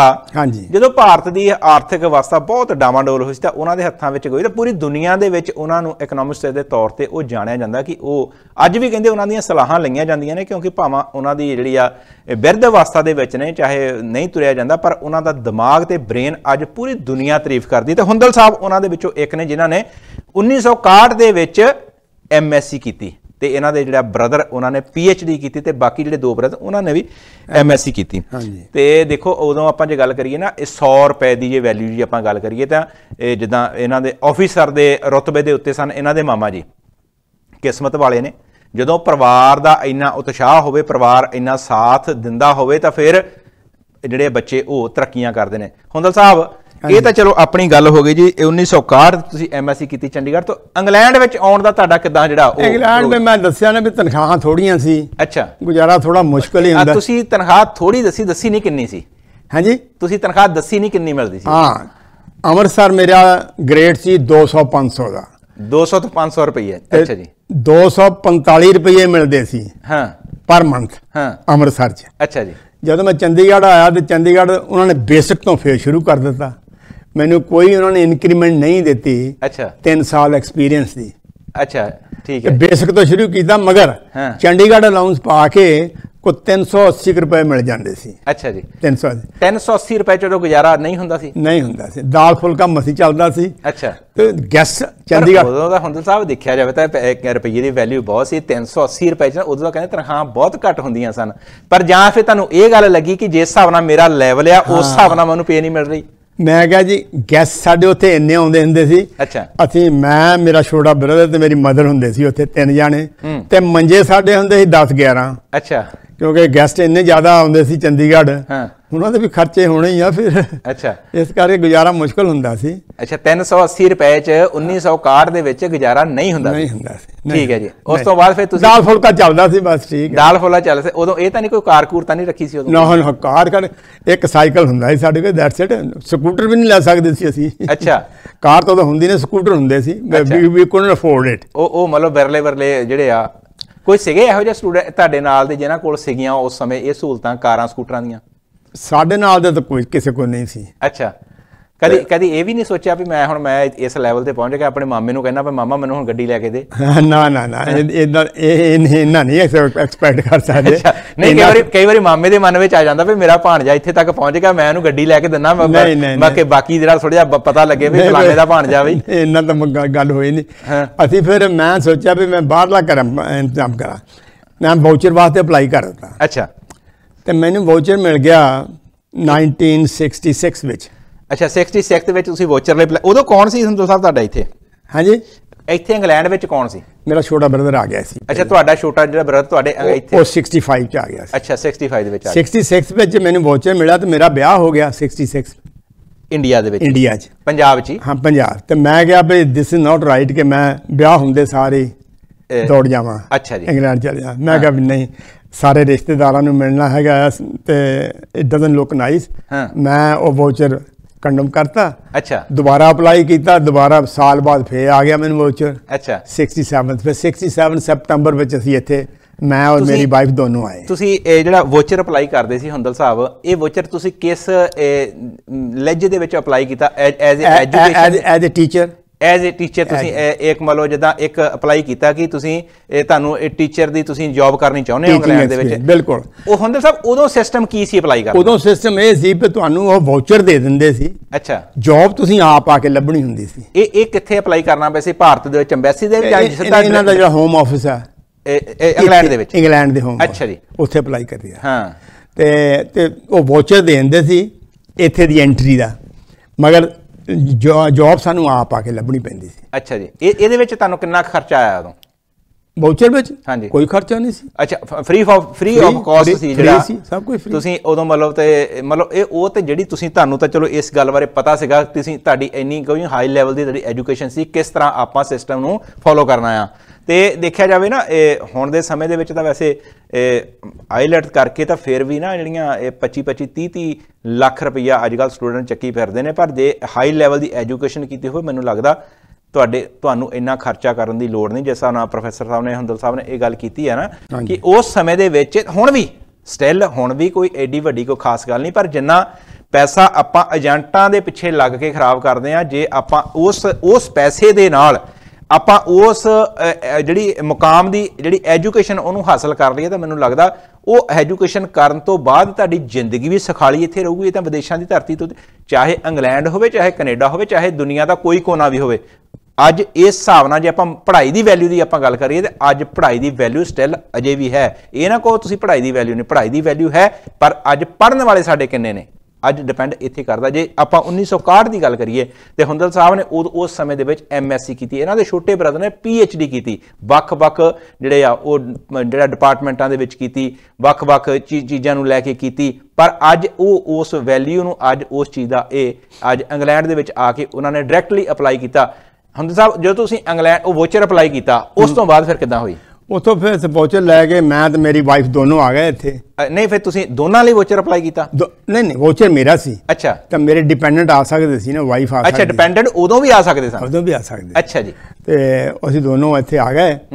ਤੇ ਇੱਥੇ ਆਉਂਦੇ ਸਾਰੇ ਮੇਰਾ ਬ੍ਰਦਰ ਛੋਟਾ ਇੱਥੇ ਸੀ। ਅੱਛਾ ਜੀ। ਤਾਂ ਹੀ ਹੈਲਪ ਮੀ ਤੇ ਮੈਨੂੰ ਜਾਂ West Ham college of further education ਦੇ ਵਿੱਚ ਨਾ ਹਾਂਜੀ। 3 ਘੰਟੇ ਹਿਸਾਬ ਮੈਥ ਮੈਥ ਪੜਾਉਣ ਵਾਸਤੇ ਜੌਬ ਮਿਲ ਗਈ। ਇਹ ਤੁਸੀਂ ਕਿਹੜੀ ਕਿਹੜੀ ਸਿਟੀ ਦੇ ਵਿੱਚ ਆਏ ਸੀ ਇੰਗਲੈਂਡ 'ਚ? ਅਸੀਂ ਆਏ ਸੀ ਲੰਡਨ। ਤੁਸੀਂ ਲੰਡਨ ਆਏ ਸੀ ਪਹਿਲਾਂ। ਆ ਕੇ ਇਲਫਰਡ ਰਹੇ ਅਸੀਂ। ਅੱਛਾ ਤੁਸੀਂ ਐਲਫੋਰਡ ਰਹੇ। ਇਲਫਰਡ ਦੇ ਲਾਗੇ ਸੀ ਵੈਸਟ ਵੈਸਟ ਹੈਮ। ਇਹ ਇਹ 67 ਦੀ ਗੱਲ ਆ? 67 yeah. 67 ਜੀ। 67 ਸਤੰਬਰ ਅੱਛਾ ਜੀ। ਤੇ ਅਕਤੂਬਰ ਤੇ ਅਕਤੂਬਰ ਮੈਨੂੰ ਜੌਬ ਮਿਲ ਗਈ 3 ਸਾਲ ਉੱਥੇ ਕੀਤੀ। ਹਾਂ। ਜੌਬ ਅਪਲਾਈ ਕਰਨ ਕੀਤੀ ਮੈਂ ਸਕੂਲਾਂ ਦੇ ਵਿੱਚ ਪਹਿਲਾਂ। ਅੱਛਾ ਜੀ। ਸਕੂਲਾਂ 'ਚ ਕਰਦੇ ਗ੍ਰਾਮਰ ਸਕੂਲ ਕਰਦਾ ਸੀ। ਅੱਛਾ ਤੁਸੀਂ ਉੱਥੇ ਸਕੂਲਾਂ ਦੇ ਵਿੱਚ ਜਾ ਕੇ ਅਪਲਾਈਆਂ ਕੀਤੀਆਂ ਨਹੀਂ? ਨਹੀਂ ਘਰੋਂ ਲੈਟਰ ਲਿਖ ਦਿੱਤਾ ਸੀ। ਅੱਛਾ ਇਹ ਨਹੀਂ ਸੀ ਕਿ ਤੁਸੀਂ ਆਨਲਾਈਨ ਈਮੇਲ ਕਰਦੇ ਹੋ ਉਦੋਂ? ਨਾ ਕੋਈ ਆਨਲਾਈਨ ਤਾਂ ਹੁੰਦੀ ਨਹੀਂ ਸੀ ਉਦੋਂ। ਹਾਂ ਮੈਂ ਇਹ ਗੱਲ ਤੁਹਾਡੇ ਕੋਲ ਪੁੱਛਣੀ ਆ ਉਹ ਆਨਲਾਈਨ ਦਾ ਸਿਸਟਮ ਨਹੀਂ ਸੀ ਉਦੋਂ। ਜਿਹੜਾ ਡਾਕਖਾਨੇ ਦਾ ਸਿਸਟਮ ਚੱਲਦਾ ਸੀ? ਟਾਈਮਜ਼ ਐਜੂਕੇਸ਼ਨਲ ਸਪਲੀਮੈਂਟ ਤੱਕ ਆਉਂਦਾ। ਅੱਛਾ। Every week Times education supplement ਅੱਛਾ ਜੀ। ਉੱਥੇ ਜੌਬਸ ਦੇਖੀ ਦੀਆਂ ਸੀ। ਹਾਂ। ਤੇ ਮੈਂ ਗ੍ਰਾਮਰ ਸਕੂਲਾਂ ਲਈ ਅਪਲਾਈ ਕਰਨਾ ਸ਼ੁਰੂ ਕਰਤਾ। ਅੱਛਾ। ਤੁਹਾਡਾ ਸ਼ੌਂਕ ਸੀ ਜਾਂ ਤੁਹਾਨੂੰ ਤੁਸੀਂ ਇੱਥੇ ਬਾਰੇ ਪਤਾ ਕੀਤਾ ਗ੍ਰਾਮਰ ਸਕੂਲ ਮੈਂ ਮੇਰੇ ਦੋਸਤ ਕੋਈ ਇੱਥੇ ਆਏ ਸੀ ਪਹਿਲਾਂ ਹਾਂ। ਉਹਨਾਂ ਨੂੰ ਗ੍ਰਾਮਰ ਸਕੂਲ ਦੀ ਜੌਬ ਮਿਲ ਗਈ ਸੀ। ਅੱਛਾ। ਤੇ ਮੈਂ ਕਿਹਾ ਵੀ ਚਲੋ ਮੈਂ ਵੀ ਕਰਦਾ ਫਿਰ। ਅੱਛਾ। ਤੇ ਮੈਨੂੰ Maghull grammar school Liverpool job ਮਿਲੀ। ਇਹ ਤੁਹਾਡੀ ਫਸਟ ਜੌਬ ਸੀ ਜਿਹੜੀ? ਫਸਟ ਜੌਬ ਮਿਲ ਗਈ ਮੈਨੂੰ। ਗ੍ਰਾਮਰ ਸਕੂਲ ਦੇ ਵਿੱਚ ਠੀਕ ਤੇ ਮੈਂ ਉਦੋਂ ਸਰਦਾਰ ਸੀ ਪੱਗ। ਬੰਨ੍ਹ ਕੇ ਗਿਆ ਸੀ। ਇੰਟਰਵਿਊ ਤੇ। ਅੱਛਾ। ਤੇ ਜਿਹੜਾ ਹੈਡਮਾਸਟਰ ਸੀ ਉਹ ਇੰਡੀਆ ਰਹਿ ਕੇ ਆਇਆ ਸੀ ਸਰਦਾਰਾਂ ਨੂੰ ਜਾਣਦਾ ਸੀ। ਅੱਛਾ ਜੀ ਗੋਰਾ ਸੀ ਇੱਥੇ ਦਾ? ਗੋਰਾ ਸੀ। ਅੱਛਾ। ਤੇ ਉਹਨੇ ਫਿਰ ਮੈਨੂੰ ਸਿਲੈਕਟ ਕਰ ਲਿਆ। ਅੱਛਾ। ਕਹਿੰਦਾ ਜੀ ਤੁਹਾਡੀ ਇੰਟਰਵਿਊ ਹੋਈ? ਮੇਰੀ ਇੰਟਰਵਿਊ ਹੋਈ। ਕਿ ਜਾਂ ਸਰਦਾਰ ਦੇਖ ਕੇ ਸਿਲੈਕਟ ਕਰ ਲਿਆ? ਉਹਨੇ ਪੁੱਛਿਆ ਮੈਨੂੰ ਕੀ ਕੁਝ ਕੀਤਾ ਤੁਸੀਂ ਕੀ ਪੜਾਇਆ ਪੜਾਇਆ ਅੱਛਾ। ਤੇ ਇਹਨੂੰ ਮੈਂ ਸਿਲੈਕਟ ਕਰ ਲਿਆ ਯੂ ਆਰ ਸਿਲੈਕਟਡ ਅੱਛਾ। ਤੇ ਯੂ ਜੁਆਇਨ ਇਨ ਜਨਵਰੀ ਨਵਾਂ ਸੈਸ਼ਨ ਜਨਵਰੀ ਸਤੰਬਰ ਦੇ ਵਿੱਚ ਤੁਸੀਂ ਇਹ ਇਹ ਅਕਤੂਬਰ ਦੀ ਗੱਲ ਹੈ। ਅੱਛਾ ਜੀ। ਦੋ ਮਹੀਨੇ ਬਾਅਦ ਕਹਿੰਦੇ ਤੁਸੀਂ ਆ ਜਾਓ। ਆ ਆ ਜਾਓ। ਜਨਵਰੀ ਤੋਂ ਸਟਾਰਟ ਇਨ ਜਨਵਰੀ। ਅੱਛਾ ਜੀ। ਤੇ ਖੈਰ ਮੈਂ ਜਾਣਾ ਸੀ। ਹਾਂ। ਮਗਰ ਹਾਂ। ਮੈਂ ਜਿਸ ਵੇਲੇ ਬਾਹਰ ਨਿਕਲਿਆ ਉੱਥੋਂ ਹਾਂ। ਸਕੂਲ ਚੋਂ ਅੱਛਾ।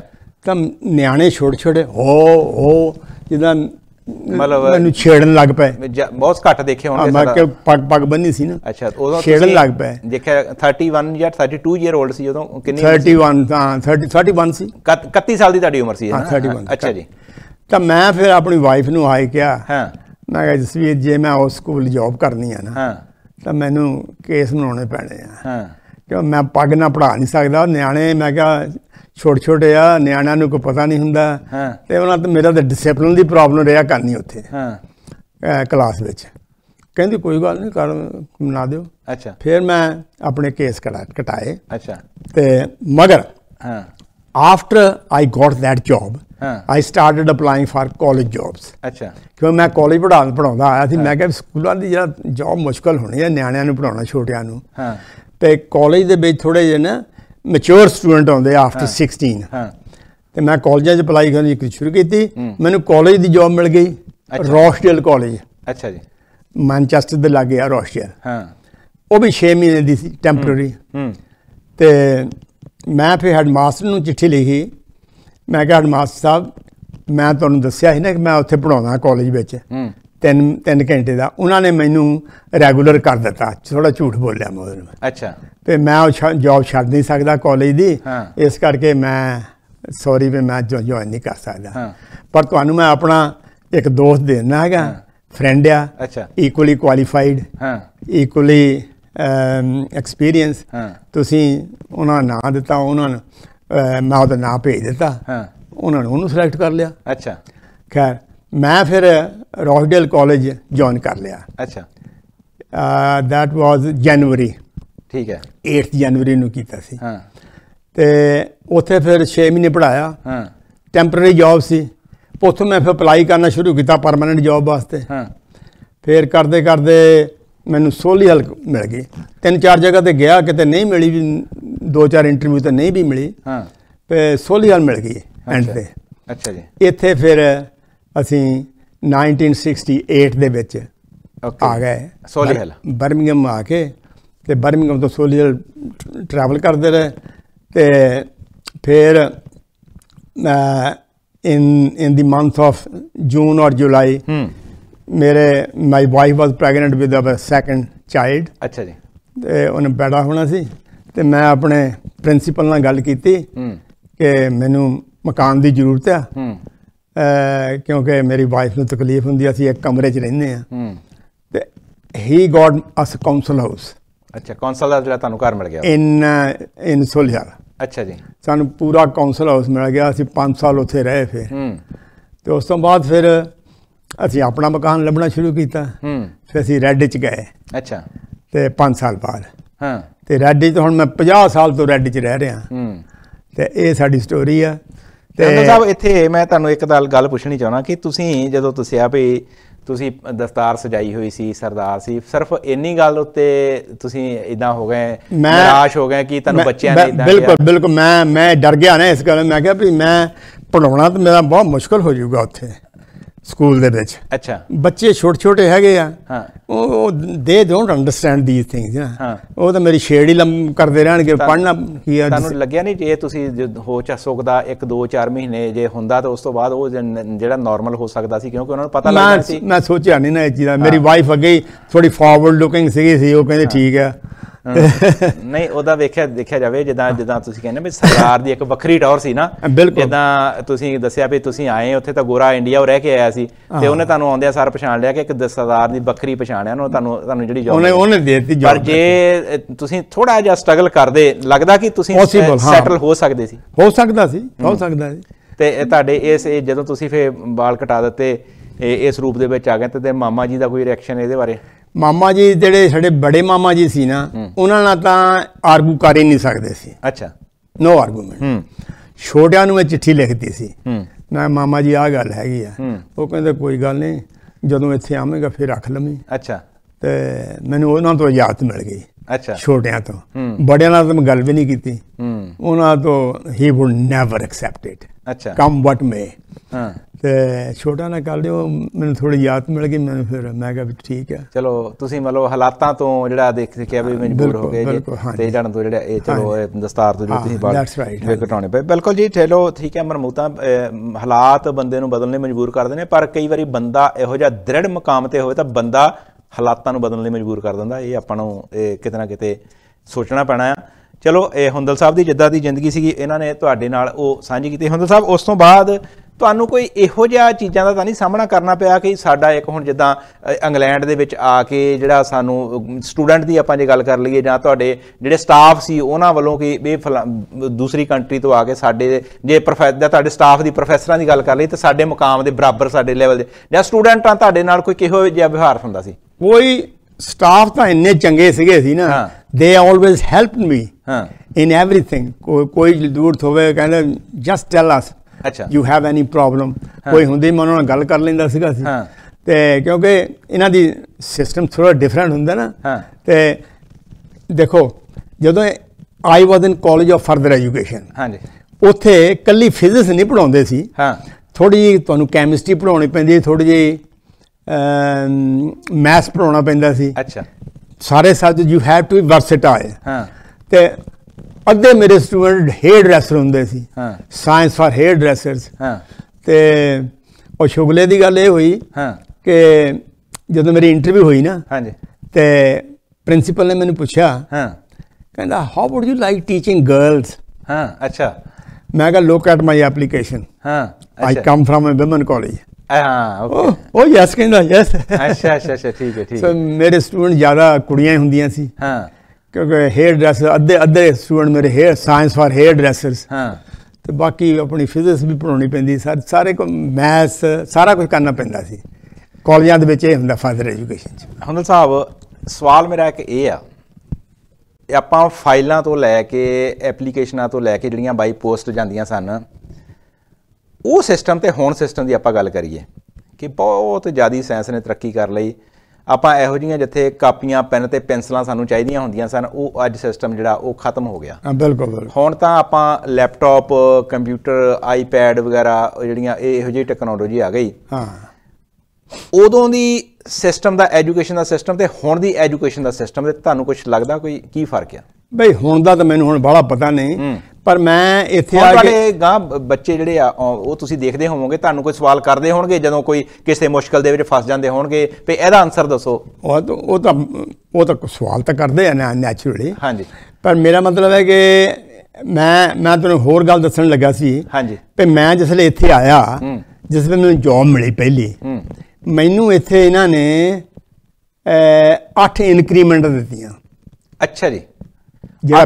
ਤਨਖਾਹ ਦੇ 8 ਇਨਕਰੀਮੈਂਟਸ 6 ਮੇਰੀਆਂ ਉੱਥੇ ਦੀਆਂ ਐਕਸਪੀਰੀਅੰਸ ਦੀਆਂ 6 ਸਾਲ ਦੀ 2 ਸਾਲ ਮੇਰੀ ਡਿਗਰੀ ਦੀਆਂ ਦੋ ਅੱਛਾ ਜੀ ਮਤਲਬ ਮੈਂ ਹੈਰਾਨ ਹੋ ਗਿਆ ਕਿ ਮੈਨੂੰ ਆਪਣੇ ਮੁਲਕ ਵਿੱਚ ਮੈਨੂੰ ਕੋਈ ਪੁੱਛਗਿੱਛ ਨਹੀਂ ਹੋਈ ਮੇਰੀ ਹਾਂ। ਮੇਰੇ ਐਕਸਪੀਰੀਅੰਸ ਦੀ ਇੱਥੇ ਮੈਨੂੰ ਉਹਨਾਂ ਨੇ ਇੰਨੀਆਂ ਇਨਕਰੀਮੈਂਟਾਂ ਦਿੱਤੀਆਂ। ਜਾਂ ਮੈਨੂੰ ਪਹਿਲਾਂ ਆਇਆ ਫਿਰ ਦੂਸਰੀ ਗੱਲ ਇਹ ਸੀ ਕਿ ਜਦੋਂ ਅਸੀਂ ਪੜਾਉਂਦੇ ਸੀ। ਤੇ ਇੱਥੇ ਉੱਥੇ ਇੱਕ ਨਾ ਬੁੱਕ ਬਣੀ ਹੁੰਦੀ ਹਾਂ। ਉੱਥੇ ਅਸੀਂ ਰੋਜ਼ ਲਿਖਣਾ ਵੀ ਮੈਂ ਅੱਜ ਕੀ ਪੜਾਇਆ ਤਾਂ ਕਿ। ਕੱਲ ਨੂੰ ਮ- ਢਿੱਲਾ ਮਸਾ ਹੋਈ ਮਾਂ ਤਾਂ ਨਾ ਜਾ ਸਕਾਂ। ਤੇ ਕਿਸੇ ਹੋਰ ਨੇ ਮੇਰੀ ਕਲਾਸ ਲੈਣੀ ਉਹਨੂੰ ਪਤਾ ਹੋਣਾ ਚਾਹੀਦਾ ਹਾਂ ਕਿ ਕੱਲ ਕਿੱਥੇ ਲੈਸਨ ਛੱਡਿਆ। ਕਿੱਥੇ ਜਾ ਕੇ ਆਇਆ। uh, our uh, teaching uh, time was 21 hour ਹਾਂ। But ਸਾਨੂੰ 30 ਘੰਟੇ ਪ੍ਰੈਮਿਸਿਸ ਤੇ ਰਹਿਣਾ ਪੈਂਦਾ ਸੀ। ਹਾਂ। ਕਾਲਜ ਦੇ। ਤੇ ਇੰਡੀਆ ਦੇ ਵਿੱਚ ਹੁੰਦਾ ਸੀ ਆਪਣਾ ਪੀਰੀਅਡ ਲਾਇਆ ਜਿੱਥੇ ਮਰਜ਼ੀ ਤੁਰੇ ਫਿਰੋ। ਹਾਂ। ਤਾਂ ਇੱਥੇ ਨਹੀਂ ਸੀ। ਇੱਥੇ ਇਹ ਰੈਸਟ੍ਰਿਕਸ਼ਨ ਸੀ ਮੈਂ ਦੇਖੀ ਆ ਕੇ। ਅੱਛਾ। 30 ਘੰਟੇ ਸਾਨੂੰ ਕਾਲਜ ਰਹਿਣਾ ਪੈਂਦਾ ਸੀ। ਹਾਂ। 21 ਘੰਟੇ ਸਾਡਾ ਟੀਚਿੰਗ ਹੁੰਦਾ ਸੀ। ਉਦੋਂ ਹੁੰਦਲ ਸਾਹਿਬ ਤੁਹਾਡੀ ਕਿੰਨੀ ਤੁਹਾਨੂੰ ਇਹਨਾਂ ਨੇ ਜਿਹੜੀ ਤਨਖਾਹ ਮਿਲਦੀ ਸੀ ਫਿਰ? ਉਦੋਂ ਮੇਰੀ ਤਨਖਾਹ ਆਈ ਸਟਾਰਟਡ 1500 ਪਾਉਂਡ ਪਰ ਮੰਥ ਨਾ sorry per year 1500 pound 1500 pound ਹਾਂਜੀ ਫਰ ਪਰ ਈਅਰ ਪਰ ਈਅਰ ਹਾਂ। ਇਹ ਉਹ ਉਸ ਇੰਨੇ ਪੈਸਿਆਂ ਨਾਲ ਉਦੋਂ ਗੁਜ਼ਾਰਾ ਹੁੰਦਾ ਸੀ ਇੱਥੇ? ਹਾਂ ਬਹੁਤ ਫਸਟ ਕਲਾਸ ਸੀ। ਬਹੁਤ ਵਧੀਆ ਜਿਹੜਾ ਹਾਂ, ਬਹੁਤ ਵਧੀਆ। ਜਿਹੜਾ ਵਧੀਆ ਗੁਜ਼ਾਰਾ ਹੁੰਦਾ ਹਾਂ ਸੀਗਾ। ਬਿਲਕੁਲ ਬਿਲਕੁਲ। ਹੁੰਦਲ ਸਾਹਿਬ ਇਹ ਤਾਂ ਚਲੋ ਹੋ ਗਈ ਆਪਣੀ ਪੜ੍ਹਾਈ ਦੀ ਗੱਲ ਤੇ ਦੂਸਰੇ ਪਾਸੇ ਜਾਂ ਉਦੋਂ ਤੁਹਾਨੂੰ ਕੋਈ ਹੋਰ ਕਿਸੇ ਕਿਉਂਕਿ ਤੁਸੀਂ ਇਹ, ਵੱਖਰੇ ਦੇਸ਼ ਤੋਂ ਆਏ ਸੀ ਇੰਗਲੈਂਡ ਦੇ ਵਿੱਚ ਆਏ ਸੀ ਚਲੋ ਚਾਹੇ ਤੁਹਾਡੇ ਇੱਥੇ ਬ੍ਰਦਰ ਪਹਿਲਾਂ ਸਨ ਕੋਈ ਹੋਰ ਤਾਂ ਨਹੀਂ ਉਦੋਂ ਕਿਸੇ ਤੁਹਾਨੂੰ ਇਹੋ ਜੀਆਂ ਨਫ਼ਰਤਹੀਨ ਭਾਵਨਾ ਦਾ ਕੋਈ ਸਾਹਮਣਾ ਕਰਨਾ ਪਿਆ? ਇਹ ਜਿਹਾ ਇਹਨਾਂ ਉਹਨਾਂ ਕਿਉਂਕਿ ਉਦੋਂ ਆਪਾਂ ਨੇ ਦੇਖਿਆ ਜਾਵੇ ਘੱਟ ਗਿਣਤੀ ਦੇ ਜਿਹੜੇ ਲੋਕ ਆਪਣੇ ਇੱਥੇ ਆਉਂਦੇ ਸੀਗੇ ਤੇ ਉਦੋਂ ਤੁਹਾਡਾ ਕਿਹੋ ਜਿਹਾ ਇਹਨਾਂ ਨਾਲ ਸੀਗਾ ਤਾਲਮੇਲ? ਬਿਲਕੁਲ ਕੋਈ ਐਸੀ ਇਦਾਂ ਦੀ ਗੱਲ ਕੋਈ ਹੋਈ ਨਹੀਂ ਇਸ ਤਰ੍ਹਾਂ। ਹਾਂ। ਇਹ ਇਹ ਡਿਪੈਂਡ ਕਰਦਾ ਵੀ ਕਿਹੜੇ ਏਰੀਆ 'ਚ ਤੁਸੀਂ ਰਹੇ ਆ। ਹਾਂ। ਅਸੀਂ ਤਕਰੀਬਨ ਬਹੁਤ ਬਾਹਰ ਰਹੇ ਆ ਬਾਹਰ ਬਾਹਰ ਏਰੀਆ ਹੀ ਸਾਡਾ ਸੋਲੀ ਹਲ ਵੀ ਇੱਥੇ ਵੀ ਤੇ ਕੋਈ ਇਦਾਂ ਦੀ ਪ੍ਰੋਬਲਮ ਆਈ ਨਹੀਂ ਸਾਨੂੰ ਕੋਈ। ਹੂੰ। ਕੋਈ ਐਕਸਪੀਰੀਅੰਸ ਨਹੀਂ ਇਦਾਂ ਦਾ। ਮਤਲਬ ਜਿਹੜਾ ਕੋਈ ਡਿਸਕ੍ਰਿਮੀਨੇਸ਼ਨ ਹੋਈ ਹੋਵੇ ਡਿਸਕ੍ਰਿਮੀਨੇਸ਼ਨ ਨਾ ਹੋਵੇ ਬਿਲਕੁਲ ਜਾਂ- ਵੀ ਨਹੀਂ ਆ। ਜਾਂ ਤੁਹਾਡੇ ਨਾਲ ਕੋਈ ਇਹੋ ਜਿਹੀ ਨਾ। ਦੇਖਿਆ ਜਾਵੇ ਬੜਾ- ਨਾ। ਬਾਹਰੋਂ ਆ ਕੇ ਸਾਡੇ ਇਦਾਂ ਨਾ, ਮੇਰੇ ਨਾਲ ਕੋਈ ਨਹੀਂ ਹੋਈ। ਮੇਰੇ ਨਾਲ ਕੋਈ ਐਕਸਪੀਰੀਅੰਸ ਨਹੀਂ ਇਸ ਚੀਜ਼ ਦਾ। ਨਹੀਂ ਬਿਲਕੁਲ ਪਰ ਹੁੰਦਲ ਸਾਹਿਬ ਦੇਖਿਆ ਜਾਵੇ ਨਾ ਹੁਣ ਇਹ ਸਿਸਟਮ ਦੀ ਆਪਾਂ ਗੱਲ ਕਰੀਏ ਤੁਹਾਨੂੰ ਲੱਗਦਾ ਕਿ ਕਲਾਸਰੂਮ ਤਾਂ ਬਿਲਕੁਲ ਜਿੱਦਾਂ ਅੱਜ ਤੋਂ ਜੇ ਤੁਸੀਂ ਆਪਾਂ 1961 ਦੀ ਗੱਲ ਕਰ ਲਈਏ ਤਾਂ ਹੁਣ 2023 ਦੇ 24 ਦੇ ਵਿੱਚ ਆਪਾਂ ਆ ਗਏ ਆ ਹਾਂਜੀ। Classroom same to same exact ਉਹੋ ਜਿਹੇ ਨੇ।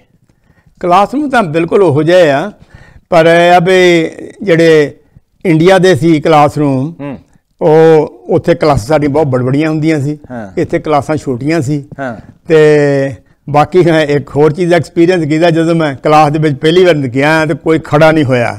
ਤੇ ਇੰਡੀਆ ਜਾਂਦੇ ਹੁੰਦੇ ਤੇ ਕਲਾਸ ਖੜੀ ਹੋ ਜਾਂਦੀ ਹੈ, ਹੈ ਨਾ, welcome ਤੇ- ਕਰਦੇ ਸੀ। ਹਾਂ ਤੇ ਉੱਥੇ ਪ੍ਰੋਫੈਸਰ ਸਾਹਿਬ ਪ੍ਰੋਫੈਸਰ ਸਾਹਿਬ ਕਹਿਣਾ ਸਾਰਿਆਂ ਨੇ ਹਾਂਜੀ। ਇੱਥੇ ਕਹਿਣਾ ਮਿਸਟਰ ਹੁੰਡਲ ਕਹਿੰਦੇ ਸੀ ਸਾਰੇ ਤੇ। ਥੋੜਾ ਫ਼ਰਕ ਤਾਂ ਆ ਕੇ you have to adjust yourself to the new circumstances ਬਿਲਕੁਲ ਇਹ ਇੱਥੇ ਦੇਖਿਆ ਜਾਵੇ ਦਰਸ਼ਕੋ ਹੁਣ ਇਹ ਜਿੱਦਾਂ ਹੁੰਦਲ ਸਾਹਿਬ ਨੇ ਗੱਲ ਕੀਤੀ ਨਾ ਗੱਲ ਇਹ- ਇਹਨਾਂ ਲੋਕਾਂ ਨੂੰ ਬੰਦੇ ਦੀ ਵੈਲਿਊ ਦਾ ਪਤਾ ਹੈਨਾ ਹੁਣ ਅਸੀਂ ਕਹਿੰਦੇ ਨਾ ਵੀ ਬੰਗਲੌਰ ਦੇ ਵਿੱਚ ਬੱਚਾ ਸਾਡਾ ਪੜਿਆ ਤੇ ਉਹਨੂੰ ਹਜੇ ਪੜਦਾ ਹੀ ਸੀਗਾ ਤੇ ਉਹਨੇ ਆਪਣੀ ਡਿਗਰੀ ਖਤਮ ਕਰਨੀ ਸੀ ਹਜੇ ਤਾਂ ਅਮਰੀਕਾ ਤੋਂ ਫਲਾਨੀ ਕੰਪਨੀ ਨੇ ਉਹਨੂੰ ਸਪਾਂਸਰ ਕਰ ਦਿੱਤਾ ਤੇ ਉਹ, ਉਹਨੂੰ ਜਿਹੜਾ ਪੈਕੇਜ ਆ, ਉਹ ਦਿੱਤਾ 1 ਲੱਖ 20 ਹਜ਼ਾਰ ਪੌਂ- ਅਹ, ਡਾਲਰ ਦਾ। ਕਿਉਂ ਦਿੱਤਾ? ਇਹ ਗੋਰੇ ਦਿਮਾਗੀ ਨੇ। ਗੋਰੇ ਦਿਮਾਗੀ ਨੇ ਨੇ ਅਸੀਂ ਆਪਣੀ ਕੰਟਰੀ ਦੇ ਵਿੱਚ ਸਾਨੂੰ ਕਿਹੋ ਜਿਹੇ ਲੋਕ ਚਾਹੀਦੇ ਨੇ? ਲੇਬਰ ਵਾਲੇ ਵੀ ਚਾਹੀਦੇ ਨੇ, ਐਜੂਕੇਸ਼ਨ ਵਾਲੇ ਵੀ ਚਾਹੀਦੇ ਨੇ, ਉੱਚ ਡਿਗਰੀਆਂ ਵਾਲੇ ਵੀ ਚਾਹੀਦੇ ਨੇ। ਹੁਣ ਦੇਖੋ ਪ੍ਰੋਫੈਸਰ ਸਾਹਿਬ ਨੇ ਗੱਲ ਦੱਸੀ, ਹੁੰਦਲ ਸਾਹਿਬ ਨੇ। ਆਉਂਦਿਆਂ ਸਾਰ ਇਹਨਾਂ ਦੀ ਵੈਲਿਊ ਦੇਖੀ ਉਹਨਾਂ ਨੇ, ਇਹਨਾਂ ਦੀ ਵੀ ਕਿੰਨੇ, ਕਿੰਨੀ ਕੁ ਵੈਲਿਊ ਇਹਨਾਂ ਦੀ। ਵੀ ਸਾਨੂੰ, ਸਾਡੇ ਕੰਟਰੀ ਨੂੰ, ਸਾਡੇ ਬੱਚਿਆਂ ਨੂੰ ਇਹਨਾਂ ਇਹਨਾਂ ਦੀ ਕਿੰਨੀ ਲੋੜ ਆ। ਇਹੋ ਜਿਹਾ ਬੰਨ ਦਿੱਤਾ 8 ਇਨਕਰੀਮੈਂਟਾਂ ਦੇ ਦਿੱਤੀਆਂ ਵੀ ਬੰਦਾ ਹੁਣ ਜਾਊ ਤੇ ਜਾਊ ਕਿੱਥੇ ਨੂੰ। ਨਾ ਚਾਹੁੰਦਿਆਂ ਹੋਵਾਂ ਵੀ ਤੁਹਾਨੂੰ ਉਹ ਜੌਬ ਕਰਨੀ ਪੈਣੀ ਕਿਉਂਕਿ ਪੈਸਾ ਇੱਕ ਚੀਜ਼ ਹੀ ਇਹੋ ਜਿਹੀ ਆ ਕਿ ਜਿਹੜਾ ਤੁਹਾਨੂੰ ਸੋਚਣ ਲਈ ਬਾਰ-ਬਾਰ ਮਜਬੂਰ ਕਰ ਦਿੰਦਾ। ਜੇ ਇਹ ਹੀ ਇਹਨਾਂ ਨੂੰ, ਇਹ ਜੇ ਜਿੱਦਾਂ ਹੁਣ ਇਹਨਾਂ ਨੇ ਦੱਸਿਆ ਕਿ ਉਦੋਂ 300 350 ਰੁਪਏ ਦਾ ਇਹਨਾਂ ਨੂੰ ਪੈਕੇਜ ਦਿੱਤਾ ਸੀਗਾ।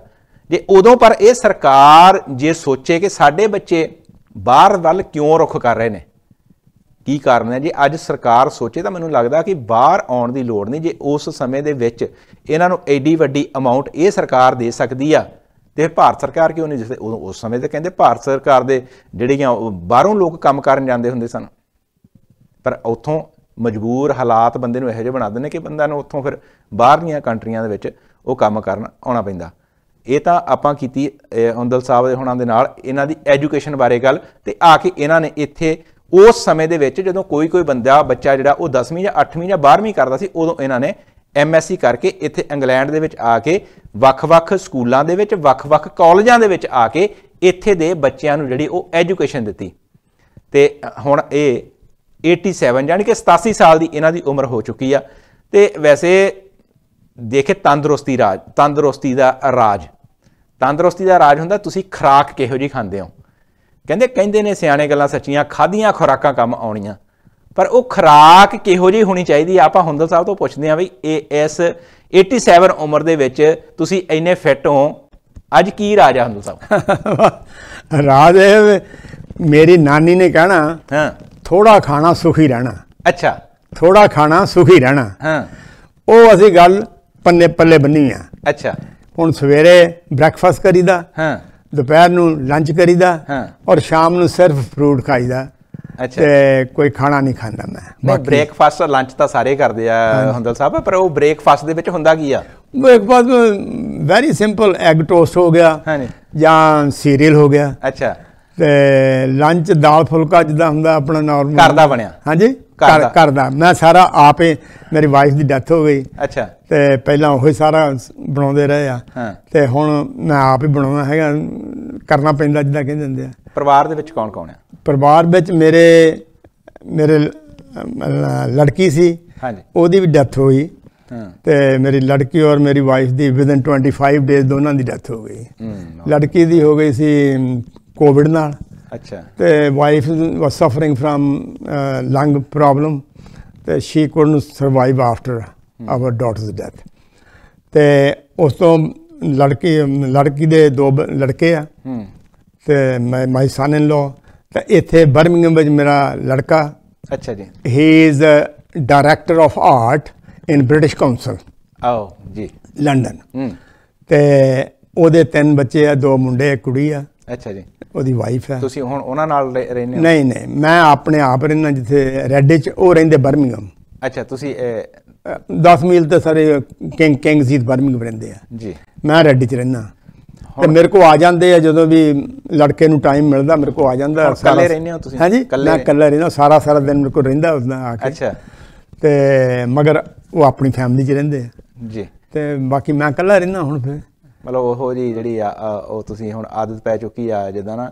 ਵੈਸੇ ਦੇਖਿਆ ਜਾਵੇ ਤਾਂ ਧੀਆਂ ਪੁੱਤਰਾਂ ਦਾ ਅ, ਕੋਲ ਹੋਣਾ ਬਹੁਤ ਜ਼ਰੂਰੀ ਆ ਅੱਜ ਦੇ ਸਮੇਂ ਦੇ ਵਿੱਚ ਨਾ। ਉਹ ਜ਼ਰੂਰਤ ਹੁੰਦੀ ਤਾਂ ਆ ਜਾਂਦੇ ਨਾ 10 ਮੀਲ ਤੇ ਸਾਰਾ ਹੈ। ਅੱਛਾ ਮਿਲ 15 ਜਾਂਦੇ ਮਿੰਟਾਂ ਚ ਆ ਜਾਂਦਾ ਮਿਲ ਜਾਂਦੇ ਆ ਕੇ ਹਾਂ ਆ ਜਾਂਦੇ ਆਉਂਦੇ ਰਹਿੰਦੇ ਆ। ਮੈਂ ਵੀ ਜਾ ਆਉਂਦਾ ਹੁੰਦਾ ਉਹਨਾਂ ਕੋਲ।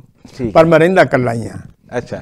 ਜੋ ਇੰਡੀਪੈਂਡੈਂਟ ਤੁਹਾਡੀ ਆਪਣੀ ਆ ਨਾ ਹਾਂ। ਉਹ ਉਹਦਾ ਮੁਕਾਬਲਾ ਨਹੀਂ ਆ ਜੀ। ਅਜੇ ਮੈਂ ਡਿਪੈਂਡੈਂਟ ਨਹੀਂ ਹੋਇਆ ਜਦੋਂ ਡਿਪੈਂਡੈਂਟ ਹੋਊਗਾ ਫਿਰ ਦੇਖਾਂਗੇ। ਫਿਰ ਦੇਖਾਂਗੇ ਕਿਧਰਲੇ ਪਾਸੇ ਨੂੰ ਕਹਾਣੀ ਜਾਂਦੀ ਆ ਉਸ ਹਿਸਾਬ ਨਾਲ ਉਹਦਾ ਜਿਹੜਾ ਮੌਕੇ ਦੇ ਹਾਲਾਤਾਂ ਦਾ ਸਾਹਮਣਾ ਉਹ। ਕੀਤਾ ਜਾਊਗਾ। ਹਾਂਜੀ ਹਾਂਜੀ। ਅਜੇ। ਬਿਲਕੁਲ ਜੀ ਇਹ ਸਾਡੇ ਹੁੰਦਲ ਸਾਹਿਬ ਜਿਨ੍ਹਾਂ ਨੇ ਹਾਇਰ ਐਜੂਕੇਸ਼ਨ ਉਸ ਸਮੇਂ ਦੇ ਵਿੱਚ ਕੀਤੀ ਜਦੋਂ ਮੈਂ ਪਹਿਲਾਂ ਵੀ ਤੁਹਾਨੂੰ ਗੱਲਬਾਤ ਕੀਤੀ ਕਿ ਜਦੋਂ ਨਹੀਂ ਪੜਿਆ ਜਾਂਦਾ ਉਦੋਂ ਇਹਨਾਂ ਨੇ ਇਹ, ਇੰਡੀਆ ਦੇ ਵਿੱਚ ਪੜ੍ਹ ਕੇ ਇਸ ਕੰਟਰੀ ਦੇ ਵਿੱਚ ਆ ਕੇ ਵੱਖ-ਵੱਖ ਸਕੂਲਾਂ, ਯੂਨੀਵਰਸਿਟੀਆਂ ਦੇ ਵਿੱਚ ਪੜਾਇਆ ਤੇ ਖਾਸ ਗੱਲ ਇਹਨਾਂ ਦੀ ਇਹ ਰਹੀ ਕਿ ਉਹ ਇਹਨਾਂ ਦੇ ਜਿੱਥੇ ਇਹ ਪੜ੍ਹੇ ਨੇ ਯੂਨੀਵਰਸਿਟੀ, ਉੱਥੇ ਡਾਕਟਰ ਮਨਮੋਹਨ ਸਿੰਘ ਜਿਹੜੇ ਪ੍ਰਧਾਨ, ਸਾਬਕਾ ਪ੍ਰਧਾਨ ਮੰਤਰੀ ਨੇ ਭਾਰਤ ਦੇ, ਉਹ ਉਹਨਾਂ ਦੇ ਉਸ ਯੂਨੀਵਰਸਿਟੀ ਦੇ ਵਿੱਚ ਉਹ ਪ੍ਰੋਫੈਸਰ ਰਹੇ ਸਨ। ਤੇ ਅੱਜ ਸਿੱਖਣ ਨੂੰ ਬਹੁਤ ਕੁਝ ਮਿਲਦਾ ਹੈ, ਕਿਉਂਕਿ ਸਿੱਖਣ ਦੀ ਆਪਾਂ ਜੇ ਗੱਲ ਕਰੀਏ, ਤੇ ਜਿੱਥੇ ਹਾਇਰ ਐਜੂਕੇਸ਼ਨ ਆਪਾਂ ਲੈ ਸਕਦੇ ਹਾਂ, ਪਰ ਸਿਸਟਮ ਜਿਹੜਾ ਇਹੋ ਜਿਹਾ ਖਰਾਬ ਹੋ ਚੁੱਕਿਆ ਭ੍ਰਿਸ਼ਟਾ ਭ੍ਰਿਸ਼ਟ ਹੋ ਚੁੱਕਿਆ। ਕਿਉਂਕਿ ਐਜੂਕੇਸ਼ਨ ਤਾਂ ਹਰ ਕੋਈ ਇੱਕ ਮਾਂ ਪੇ ਦਾ ਸੁਪਨਾ ਹੁੰਦਾ ਕਿ ਮੇਰਾ ਬੱਚਾ ਹਾਇਰ ਐਜੂਕੇਸ਼ਨ ਦੇ ਉੱਤੇ ਜਾਵੇ। ਬੱਚੇ ਵੀ ਕੋਸ਼ਿਸ਼ ਕਰਦੇ ਨੇ। ਬੱਚਿਆਂ ਦੇ ਵਿੱਚ ਟੈਲੈਂਟ ਵੀ ਹੁੰਦਾ ਆ। ਪਰ ਉਹ ਕਿਤੇ ਨਾ ਕਿਤੇ ਉਸ ਲੈਵਲ ਤੇ ਪਹੁੰਚਣ ਤੋਂ ਪਹਿਲਾਂ ਉਹਨਾਂ ਦੇ ਟੈਲੈਂਟ ਤੋਂ ਅਣਦੇਖਿਆ ਕਰ ਦਿੱਤਾ ਜਾਂਦਾ। ਉਹਦਾ ਕਾਰਨ ਕੀ ਆ? ਉਹਦਾ ਕਾਰਨ ਆ, ਇਹ ਸਾਡੇ ਜਿਹੜੀਆਂ ਨੇਤਾਗਿਰੀ ਦੇ ਵਿੱਚ ਜਿਹੜੇ ਸਾਡੇ ਲੀਡਰ ਨੇ ਉਹਨਾਂ ਦੇ ਜਿਹੜਾ ਹਿੱਸੇ ਜਿਹੜਾ ਕੋਟਾ ਆਇਆ ਹੁੰਦਾ। ਜਾਂ ਫਿਰ ਇੱਕ ਜਿਹੜੀ ਆਪਾਂ ਗੱਲ ਕਰ ਸਕਦੇ ਹਾਂ ਡੋਨੇਸ਼ਨ ਦੀ। ਹੁੰਦਾ ਸਾਹਿਬ ਉਦੋਂ ਡੋਨੇਸ਼ਨ ਵੀ ਚੱਲਦੀ ਹੁੰਦੀ ਸੀ ਤੁਹਾਡੇ ਸਮੇਂ ਦੇ ਵਿੱਚ? ਕੀ ਸੀ? ਡੋਨੇਸ਼ਨ ਜਿਹੜਾ ਰਿਸ਼ਵਤਖੋਰੀ ਸੀਗੀ ਉਦੋਂ ਤੁਹਾਡੇ ਸਮੇਂ ਦੇ ਵਿੱਚ? ਇੰਡੀਆ ਦੇ ਵਿੱਚ? ਹਾਂ। ਉਹ ਤਾਂ ਹਮੇਸ਼ਾ ਹੀ ਰਹੀ ਹੈ। ਅੱਛਾ। ਉਹ ਤਾਂ ਹਮੇਸ਼ਾ ਰਹੀ ਆ ਪਰ ਐਜੂਕੇਸ਼ਨ ਦੇ ਵਿੱਚ ਤਾਂ ਨਹੀਂ ਸੀ ਵੈਸੇ। ਜੀ। ਨਹੀਂ ਹੁਣ ਤੁਸੀਂ ਜਿੱਦਾਂ ਕੋਈ ਬੰਦਾ ਬੱਚਾ ਹੁਣ ਮੰਨ ਲਓ ਕੋਈ ਆਈਏਐਸ ਜਾਂ ਪੀਸੀਐਸ ਦੀ ਇਹ ਆਪਣੇ ਮੁਕਾਮ ਤੇ ਪਹੁੰਚ ਜਾਂਦਾ। ਹਾਂ ਹਾਂ। ਪਰ ਉਹ ਟੈਸਟ ਤਾਂ ਕਲੀਅਰ ਕਰ ਲੈਂਦਾ। ਹਾਂਜੀ। ਪਰ ਉਹ ਯੋਗਤਾ ਵੀ ਉਹਦੇ ਵਿੱਚ ਪੂਰੀ ਹੁੰਦੀ ਆ। ਹਾਂ ਪਰ ਫਿਰ ਵੀ ਉਹਨੂੰ ਉਹ ਪੋਸਟ ਨਹੀਂ ਮਿਲਦੀ ਜਿਸ ਚ ਉਸ ਪੋਸਟ ਦਾ ਉਹ ਹੱਕਦਾਰ ਹੁੰਦਾ। ਬਿਲਕੁਲ ਯੂ ਆਰ ਰਾਈਟ ਇੱਥੇ ਮੈਂ ਮੇਰੇ ਦੋਸਤ ਆ ਇੱਥੇ। ਉਹਨਾਂ ਨੇ ਦੱਸਿਆ ਉਹਨਾਂ ਦਾ ਗਾ ਰਿਸ਼ਤੇਦਾਰ ਸੀ ਇੰਡੀਆ ਦੇ ਵਿੱਚ। ਹਾਂਜੀ। ਉਹਨੂੰ ਲੈਕਚਰਸ਼ਿਪ ਦੀ ਜੌਬ ਲੈਣੀ ਸੀ। ਅੱਛਾ ਜੀ।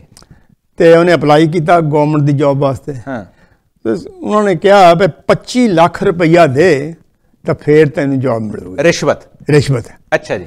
ਉਹਨੂੰ ਲੈਕਚਰਸ਼ਿਪ ਵਾਸਤੇ 25 ਲੱਖ ਦੇਣਾ ਪਿਆ। ਹਾਂ। ਤੇ ਸਾਡੇ ਜ਼ਮਾਨੇ 'ਤੇ ਇਹ ਚੀਜ਼ ਨਹੀਂ ਸੀ ਵੈਸੇ। ਅੱਛਾ ਜੀ। ਤੇ ਅਸੀਂ ਤਾਂ ਸਿੱਧਾ ਅਪਲਾਈ ਕੀਤਾ ਥਰੂ ਦ ਕਮਿਸ਼ਨ ਨੂੰ ਸਿਲੈਕਟ ਹੋ ਗਏ। ਤੇ ਸਾਨੂੰ ਜੌਬ ਮਿਲ ਗਈ। ਹਾਂ। ਉਹਨਾਂ ਨੂੰ ਅੱਜ ਕੱਲ ਇਹ ਹਾਲਤ ਹੈ ਉੱਥੇ। ਮੈਂ ਰੀਸੈਂਟਲੀ ਹੋਈ ਆ। ਕੋਈ ਪਿਛਲੇ 2 ਮਹੀਨਿਆਂ ਦੀ ਗੱਲ ਹੈ। ਹਾਂ। 25 ਲੱਖ ਦੇ ਕੇ ਤਾਂ ਉਹਨੂੰ ਲੈਕਚਰਸ਼ਿਪ ਦੀ ਜੌਬ ਮਿਲੀ ਹੈ। ਹਾਂ। Never heard of these thing before ਉਹਦੇ ਸਾਹਿਬ ਤੁਹਾਨੂੰ ਤੁਹਾਨੂੰ ਕੀ ਲੱਗਦਾ ਇੱਕ ਬੱਚਾ ਟੌਪ ਕਰਦਾ ਆਪਣੀ ਪੜ੍ਹਾਈ ਦੇ ਵਿੱਚ। ਹਨਾ? ਉਹ ਉਸ ਮਕਾਮ ਤੇ ਉਸ ਲੈਵਲ ਦਾ ਹੱਕਦਾਰ ਹੁੰਦਾ ਆ ਪਰ ਫਿਰ ਵੀ ਉਹਨੂੰ ਇਹਨਾਂ ਕਾਰਨਾਂ ਕਿਸੇ ਨਾ ਕਿਸੇ ਕਾਰਨ ਕਰਕੇ ਉਹਨੂੰ ਪਿੱਛੇ ਧੱਕ ਦਿੱਤਾ ਜਾਂਦਾ। ਬਿਲਕੁਲ ਗਲਤ ਹੈ। ਟੋਟਲੀ ਰੋਂਗ ਹੈ। ਹੂੰ। ਇਹ ਇਹ ਜਿਹੜਾ ਇਹ ਹਾਲਾਤ ਪਹਿਲਾਂ ਤਾਂ ਚਲੋ ਘੱਟ ਸੀਗੇ ਪਰ ਹੁਣ ਤਾਂ ਬਹੁਤ ਜ਼ਿਆਦਾ ਇਹਦੇ ਬਾਰੇ ਤੁਹਾਡਾ ਕੀ ਕਹਿਣਾ? ਤੁਸੀਂ ਕੀ ਸੋਚਦੇ ਹੋ ਇਸ ਚੀਜ਼ ਬਾਰੇ? ਇਹਦੇ ਬਾਰੇ ਬਹੁਤ ਅਸੀਂ ਬਹੁਤ ਦੁਖੀ ਹੁੰਦੇ ਹਾਂ ਚੀਜ਼ਾਂ ਗੱਲਾਂ ਕਰਦੇ ਹੂੰ। ਵੀ India the GDP is 5th of the world ਹਾਂਜੀ ਪੰਜਵੇਂ ਨੰਬਰ ਤੇ। ਪੰਜਵੇਂ ਨੰਬਰ ਤੇ ਜੀ। ਮਗਰ ਕਰਪਸ਼ਨ ਦਾ ਇਹ ਹਾਲ ਹੈ ਕਿ it's too much why are people coming out of India ਹੂੰ। ਬਾਹਰ ਕਿਉਂ ਜਾ ਰਹੇ ਆ ਜੀ? ਅਸੀਂ ਇੰਨੇ ਰਿਚ ਆ India is very rich that way ਜਾਂ 5th of the GDP of the world ਵੱਡੀ ਆਰਥਿਕ ਅਵਸਥਾ ਆ ਮਗਰ world ਦੀ। ਸਿਸਟਮ ਬਹੁਤ ਖਰਾਬ ਹੈ ਕੀ ਕੀਤਾ ਜਾਵੇ ਇਹਦਾ ਹੂੰ ਇਹ- ਇਸ ਇਸੇ ਕਰਕੇ ਲੋਕੀ ਬਾਹਰ ਆਉਣਾ ਚਾਹੁੰਦੇ ਆ ਬਾਹਰ ਆਉਣਾ ਚਾਹੁੰਦੇ ਨੇ ਔਰ ਸਾਡੇ ਲੋਕ ਵੀ ਜਿਹੜੇ ਇੱਥੇ ਰਹਿੰਦੇ ਆ ਉਹ ਉੱਥੇ ਜਾ ਜਾ ਕੇ ਰਹਿਣਾ ਨਹੀਂ ਚਾਹੁੰਦੇ ਕਿਉਂਕਿ ਸਿਸਟਮ ਖਰਾਬ ਹੈ ਹੂੰ ਤੇ ਅਦਰਵਾਈਜ਼ ਇੰਡੀਆ ਵਿੱਚ ਹੁਣ ਘਾਟਾ ਕੋਈ ਨਹੀਂ ਹੈ even lecturer there they are very highly paid ਹੂੰ ਲੱਖ ਲੱਖ ਡੇਢ ਡੇਢ ਲੱਖ ਰੁਪਈਆ ਲੈਣ ਤਨਖਾਹ ਲੈਂਦੇ ਆ ਹੂੰ ਪਰ ਮਨੀ ਹੈ। ਜਿੱਥੇ ਹੈ। ਪਰ ਜੇ ਕਿਸੇ ਨੂੰ ਮਿਲ ਜਾਏ ਤਾਂ ਹੈ ਨਾ ਜੌਬ ਹੁੰਦਲ ਸਾਹਿਬ ਜੇ ਹੁਣ ਇਹੋ ਜਿਹਾ ਸਬਬ ਬਣੇ ਕਾਲੇ ਸੰਗਿਆਂ ਜਾ ਕੇ ਰਹਿਣਾ ਪਸੰਦ ਕਰੋਗੇ? ਨਹੀਂ ਹੁਣ ਨਹੀਂ ਰਹਿ ਸਕਦਾ। ਹੁਣ ਨਹੀਂ ਰਹਿ ਸਕਦੇ। ਹੁਣ ਨਹੀਂ ਰਹਿ ਕੀ ਕਾਰਨ ਕੀ ਆ? ਸਿਸਟਮ ਉੱਥੇ ਤਾਂ ਇਦਾਂ ਦਾ ਨਾ ਵੀ ਤੇ ਉਹ ਗੱਲ ਨਹੀਂ ਰਹਿ ਗਈ। ਹੁਣ ਜੋ ਯੂਜ਼ ਟੂ ਇੱਥੇ ਹੋ ਗਏ ਤੇ ਕਿੰਨੇ ਸਾਲ ਹੋ ਗਏ? ਨਹੀਂ ਹੁਣ ਤਾਂ ਤੁਹਾਨੂੰ ਪੈਨਸ਼ਨ ਲੱਗੀ ਹੋਵੇਗੀ। ਪੈਨਸ਼ਨ ਤੁਸੀਂ ਬੇਸ਼ੱਕ ਭਾਵੇਂ ਪੈਨਸ਼ਨ ਵੀ ਲੱਗੀ ਹਨ ਹਾਂ। ਸਾਡੀ ਫੈਮਿਲੀ ਸਾਰੀ ਇੱਥੇ ਬੱਚੇ ਇੱਥੇ ਹੈ ਨਾ। ਤੇ ਬੱਚਾ ਕੋਈ ਜਾਣਾ ਨਹੀਂ ਚਾਹੁੰਦਾ ਕਿਉਂ ਇੱਥੇ ਪੈਦਾ ਹੋਏ ਸਾਰੇ। ਤੇ ਅਸੀਂ ਉਹਨਾਂ ਨੂੰ ਛੱਡ ਕੇ ਨਹੀਂ ਜਾ ਸਕਦੇ। ਮੈਂ ਇਹ ਬਸ ਸਭਾ ਹੁਣ ਸਾਡਾ ਸਮਾਂ ਸਮਾਪਤ ਹੋ ਮਿਲ ਲਿਆ। ਮਿਲ ਜਾਂਦੇ ਆ ਅੱਛਾ ਕਿੰਨੀ ਕਿੰਨੀ ਦੇਰ ਬਾਅਦ ਜਿਹੜਾ ਉਹ ਗੇੜਾ ਲੱਗਦਾ ਪੰਜਾਬ ਅਸੀਂ ਐਵਰੀ ਐਵਰੀ ਈਅਰ ਜਾਂਦੇ ਹੁੰਦੇ ਸੀ। ਆ ਕੋਵਿਡ ਕਰਕੇ ਰਹਿ ਗਿਆ ਥੋੜੇ ਚਿਰ ਨਹੀਂ ਜਾ ਸਕੇ। ਹੁਣ ਮੈਂ ਤਕਰੀਬਨ ਹਰ ਸਾਲ ਹੀ ਜਾਂਦਾ। ਹੁੰਦਲ ਸਾਹਿਬ ਇੱਕ ਲਾਸਟ ਦੇ ਵਿੱਚ ਮੇਰਾ ਇੱਕ ਸਵਾਲ ਹੈ। ਤੁਸੀਂ ਇਸ ਤੁਸੀਂ ਹੁਣੇ ਗੱਲ ਕੀਤੀ ਕਿ ਬੱਚੇ ਪਿੱਛੇ ਨੂੰ ਨਹੀਂ ਜਾਣਾ ਚਾਹੁੰਦੇ। ਹਾਂ। ਇਹਦੇ ਵਿੱਚ ਕਸੂਰ ਕਿਹਦਾ ਹੈ? ਕਿਉਂ ਬੱਚੇ ਪਿੱਛੇ ਨੂੰ ਨਹੀਂ ਜਾਣਾ ਚਾਹੁੰਦੇ? ਬੱਚਿਆਂ ਦੀ ਉਹ ਪੈਦਾ ਇੱਥੇ ਹੋਏ ਐਜੂਕੇਸ਼ਨ ਇੱਥੇ ਦੀ ਹੈ। ਤੇ ਉੱਥੇ ਉਹਨਾਂ ਦੀ ਬੋਲੀ ਦਾ ਫ਼ਰਕ ਆ ਤੇ ਉਹ ਰਹਿਣੀ ਬਹਿਣੀ ਸਾਰਾ ਦਾ ਫ਼ਰਕ ਹੈ ਬੋਲੀ ਤਾਂ ਜੇ ਆਪਾਂ ਦੇਖਿਆ ਜਾਵੇ ਆਪਾਂ ਪੰਜਾਬੀ ਆ। ਘਰ ਦੇ ਵਿੱਚ ਬਿਲਕੁਲ ਪੰਜਾਬੀ ਨਹੀਂ ਜਾਣਦੇ ਹੋ ਉਹ ਜਿਹੜੇ ਸਾਡੇ ਪੋਤੇ ਤੱਕ ਉਹ ਘੱਟ ਜਾਣਦੇ ਸਾਡੇ ਬੱਚੇ ਤਾਂ ਜਾਣਦੇ ਆ। ਹਾਂ। ਜਿਹੜੇ ਜਿਹੜੇ ਪੋਤੇ ਆ ਸਾਡੇ। ਕਿਉਂਕਿ ਸਾਡੇ ਮੇਰਾ ਲੜਕਾ ਤੇ ਉਹਦੀ ਵਾਈਫ। ਉਹ ਦੋਨੋਂ ਇੱਥੇ ਦੇ ਪੜ੍ਹੇ ਹੋਏ ਆ।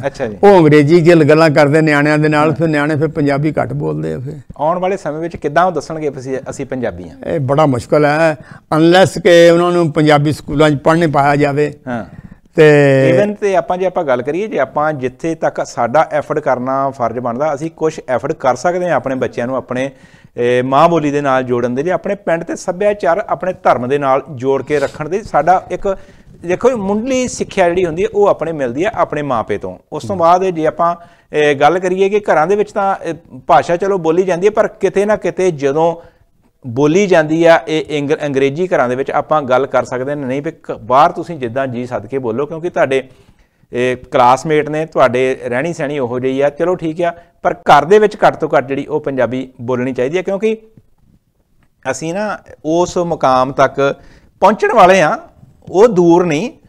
ਜਿੱਦਣ ਸਾਨੂੰ ਦੱਸਣਾ ਪਊਗਾ ਕਿ ਅਸੀਂ ਪੰਜਾਬੀ ਹੁੰਨੇ ਆ, ਕਿ ਸਾਡੇ ਦਾਦੇ ਪੜਦਾਦੇ ਫਲਾਣੇ ਪਿੰਡ ਨੂੰ ਬਿਲੋਂਗ ਕਰਦੇ ਹਨ, ਇਹਨਾਂ ਨੇ ਪਛਾਣ ਸਾਡੀ ਭੁੱਲ ਜਾਣੀ। ਕਿਉਂ? ਕਿਉਂਕਿ ਅਸੀਂ ਆਪਣੇ ਨਾਮ ਵੀ ਗੋਰਿਆਂ ਵਾਲੇ ਰੱਖ ਲਏ ਤੇ ਮਗਰ ਆਪਣੀ ਗੋਤ ਲਾਉਣੀ ਸ਼ੁਰੂ ਕਰ ਦਿੱਤੀ। ਅੱਗੇ ਸਿੰਘ ਤੇ ਕੌਰ ਦੀ ਪਛਾਣ ਹੁੰਦੀ ਸੀ, ਜਦੋਂ ਸਿੰਘ ਲੱਗਦਾ ਸੀ ਤਾਂ ਉਹਨਾਂ ਨੂੰ ਪਤਾ ਲੱਗ ਸੰਦੇ ਇਹ ਇੰਡੀਅਨ ਆ। ਕੌਰ ਲੱਗ ਜਾਂਦਾ ਸੀ ਤੇ ਇਹਨੂੰ ਪਤਾ ਲੱਗ ਸੀ, ਇਹ ਇੰਡੀਅਨ ਕੁੜੀ ਆ ਇੰਡੀਅਨ ਔਰਤ ਆ। ਪਰ ਇਹ ਟੁੱਟਦੇ ਜਾ ਰਹੇ ਹਾਂ ਅਸੀਂ। ਇਹ ਜੇ ਮੌਕਾ ਸੰਭਾਲਣਾ ਚਾਹੋ ਤਾਂ ਅਸੀਂ ਸੰਭਾਲ ਵੀ ਸਕਦੇ ਹਾਂ, ਪਰ ਅੱਜ ਕਿੰਨੇ ਕੁ ਇਸ ਮੌਕੇ ਨੂੰ ਸੰਭਾਲਣ ਦੀ ਕੋਸ਼ਿਸ਼ ਉਹ ਕਰ ਸਕਦੇ ਹਾਂ। ਕਿਉਂਕਿ ਹਰ ਇੱਕ ਵਰਗ ਇਹ ਹੀ ਚਾਹੁੰਦਾ ਆ ਅਸੀਂ ਇਹੋ ਜਿਹੇ ਇਸ ਮਾਹੌਲ ਦੇ ਵਿੱਚ ਢਲ ਚੁੱਕੇ ਹਾਂ। ਕਿਉਂ? ਪਿੱਛੇ ਸਾਡਾ ਕੋਈ ਨਹੀਂ। ਪਿੱਛੇ ਜੇ ਹਰ ਕੋਈ ਬੰਦਾ ਇਹੀ ਗੱਲ ਕਹਿੰਦਾ ਰਹੇ ਕਿ ਪਿੱਛੇ ਸਾਡਾ ਕੋਈ ਨਹੀਂ, ਤੇ ਫਿਰ ਅਸੀਂ ਕਹਿੰਦੇ ਪੰਜਾਬ ਦੇ ਵਿੱਚ ਜਿਹੜੀ ਜਗ੍ਹਾ ਖਾਲੀ ਹੁੰਦੀ ਨਾ, ਉਹ ਜਗ੍ਹਾ ਭਰਦੀ ਵੀ ਆ। ਫਿਰ ਅਸੀਂ ਕਹਿੰਦੇ ਵੀ ਪ- ਪ- ਬਾਕੀ ਸਟੇਟਾਂ ਤੋਂ ਜਿਹੜੇ ਲੋਕ ਉੱਥੇ ਆ ਕੇ ਰਹਿ ਰਹੇ ਨੇ, ਤੇ ਬਿਲਕੁਲ ਜਿਹੜੀ ਜਗ੍ਹਾ ਖਾਲੀ ਉਹਨੇ ਭਰਨਾ ਵੀ ਆ। ਪਰ ਅੱਜ ਹਾਲਾਤ ਜਿਹੜੇ ਬਣ ਚੁੱਕੇ ਨੇ ਨਾ, ਜਿਹੜਾ ਉਥੋਂ ਆ ਗਿਆ, ਜਿਹੜਾ ਵੀ ਜੀ ਉੱਥੋਂ ਆ ਗਿਆ, ਪੰਜਾਬ ਦੀ ਧਰਤੀ ਜੋ ਜਾਂ ਭਾਰਤ ਦੇ ਵਿੱਚੋਂ ਕੱਲੇ ਮੈਂ ਪੰਜਾਬੀ ਨਹੀਂ ਆਉਂਦੇ। ਮੈਂ ਹੁਣ ਤੁਸੀਂ ਦੇਖਿਆ ਕਿ ਬਾਕੀ ਸਟੇਟਾਂ ਦੀ ਜੇ ਆਪਾਂ ਇਹ ਰੇਸ਼ੋ ਕੱਢ ਕੇ, ਅੰਕੜੇ ਕੱਢ ਕੇ ਦੇਖ ਲਈਏ ਤਾਂ, ਬਾਕੀ ਸਟੇਟਾਂ ਦੇ ਵਿੱਚ ਵੀ ਉਹੋ ਹੀ ਜਿਹੜਾ ਰੁੱਖ, ਉਹ ਬਾਹਰਲੇ ਦੇਸ਼ਾਂ ਵੱਲ ਨੂੰ ਉਹ ਦੌੜ ਲੱਗੀ ਹੋਈ ਹੈ, ਚਾਹੇ ਉਹ ਮਹਾਰਾਸ਼ਟਰ ਵਰਗੀਆਂ ਜਿੱਥੇ ਸਟੇਟਾਂ ਹੋਣ, ਚਾਹੇ ਕਰਨਾਟਕ ਹੋਵੇ, ਚਾਹੇ ਹਰਿਆਣਾ ਹੋਵੇ, ਚਾਹੇ ਹਿਮਾਚਲ ਹੋਵੇ। ਕਿਉਂਕਿ ਹਰ ਇੱਕ ਦੀ ਕੋਸ਼ਿਸ਼ ਹੈ, ਇੱਥੇ ਹੈ ਕੁਝ ਨਹੀਂ। ਸਿਸਟਮ ਤੁਹਾਡੇ ਸਾਹਮਣੇ ਆ ਭ੍ਰਿਸ਼ਟ ਸਿਸਟਮ ਹੋ ਚੁੱਕਿਆ। ਅੱਜ ਲੀਡਰ ਹੋਣਾ ਇੱਕ ਬਹੁਤ ਜ਼ਰੂਰੀ ਹੈ ਜੇ ਤੁਸੀਂ ਉਸ ਧਰਤੀ ਦੇ ਉੱਤੇ ਰਹਿ ਕੇ ਸਰਵਾਈਵ ਕਰਨਾ ਚਾਹੁੰਦੇ ਹੋ। ਜਾਂ ਤੁਹਾਡੀ ਲੀਡਰ ਦੇ ਨਾਲ ਨੇੜਤਾ ਹੋਣੀ ਬਹੁਤ ਜ਼ਰੂਰੀ ਆ। ਨਹੀਂ ਤਾਂ ਤੁਹਾਡੇ ਹਾਲਾਤ ਇਹੋ ਜਿਹੇ ਬੰਦੇ ਨੂੰ ਮਜਬੂਰ ਕਰ ਦਿੰਦੇ ਨੇ ਕਿ ਤੁਸੀਂ ਫਿਰ ਆਪੇ ਹੀ ਉੱਥੋਂ ਭੱਜਣ ਲਈ ਮਜਬੂਰ ਹੋ ਜਾਂਦੇ ਹੋ। ਇਹ ਹਾਲਾਤ ਉੱਥੇ ਦੇ ਬਣ ਚੁੱਕੇ ਨੇ। ਤਾਂ ਸਾਡੇ ਬੱਚੇ ਜਿਹੜੇ ਨੇ ਉਹ ਉੱਥੇ ਨੂੰ ਪਿੱਛੇ ਨੂੰ ਰੁੱਖ ਨਹੀਂ ਕਰਨਾ ਚਾਹੁੰਦੇ। ਤੇ ਅਸੀਂ ਇਸ ਜੰ- ਜੰਜਾਲ ਦੇ ਵਿੱਚ ਫਸ ਚੁੱਕੇ ਹਾਂ ਕਿ ਅਸੀਂ, ਕਿਉਂਕਿ ਅਸੀਂ ਪਿੱਛੇ ਜਾਣਾ ਉਹਦੇ ਕਿਹਦੇ ਕੋਲ ਆ, ਕਿਉਂਕਿ ਪਿੰਡ ਜਿੱਥੇ ਛੱਡ ਕੇ ਆਏ ਸੀ, ਅੱਜ 67 ਦੀ ਗੱਲ ਕਰ ਲਈ ਜਾਂ 67 ਦੀ ਆਪਾਂ ਗੱਲ ਕਰ ਲਈਏ, ਤਾਂ ਅੱਜ ਪਿੱਛੇ ਉਹ ਜਿਹੜੇ ਸਾਨੂੰ ਲੋਕ ਜਾਣਦੇ ਸਨ, ਉਹ ਵੀ ਇਸ ਜਾਂ ਤਾਂ ਉਥੋਂ ਕਿਸੇ ਹੋਰ ਕੰਟਰੀ ਦੇ ਵਿੱਚ ਜਾਂ ਫਿਰ ਉਹ ਦੁਨੀਆ ਤੋਂ ਉਹ ਰੁਖਸਤ ਜਿਹੜੇ ਹੋ ਗਏ। ਪਰ ਅੱਜ ਸੰਭਾਲੂਗਾ ਕੌਣ ਪੰਜਾਬ ਨੂੰ? ਗੱਲ ਇੱਥੇ ਆ ਕੇ ਮੁੱਕਦੀ ਆ। ਕਹਿੰਦੇ ਤਾਂ ਹੈ ਅਸੀਂ ਉੱਥੇ ਰਾਜ ਕਰਨਾ ਸੀ, ਰਾਜ ਲੈਣਾ।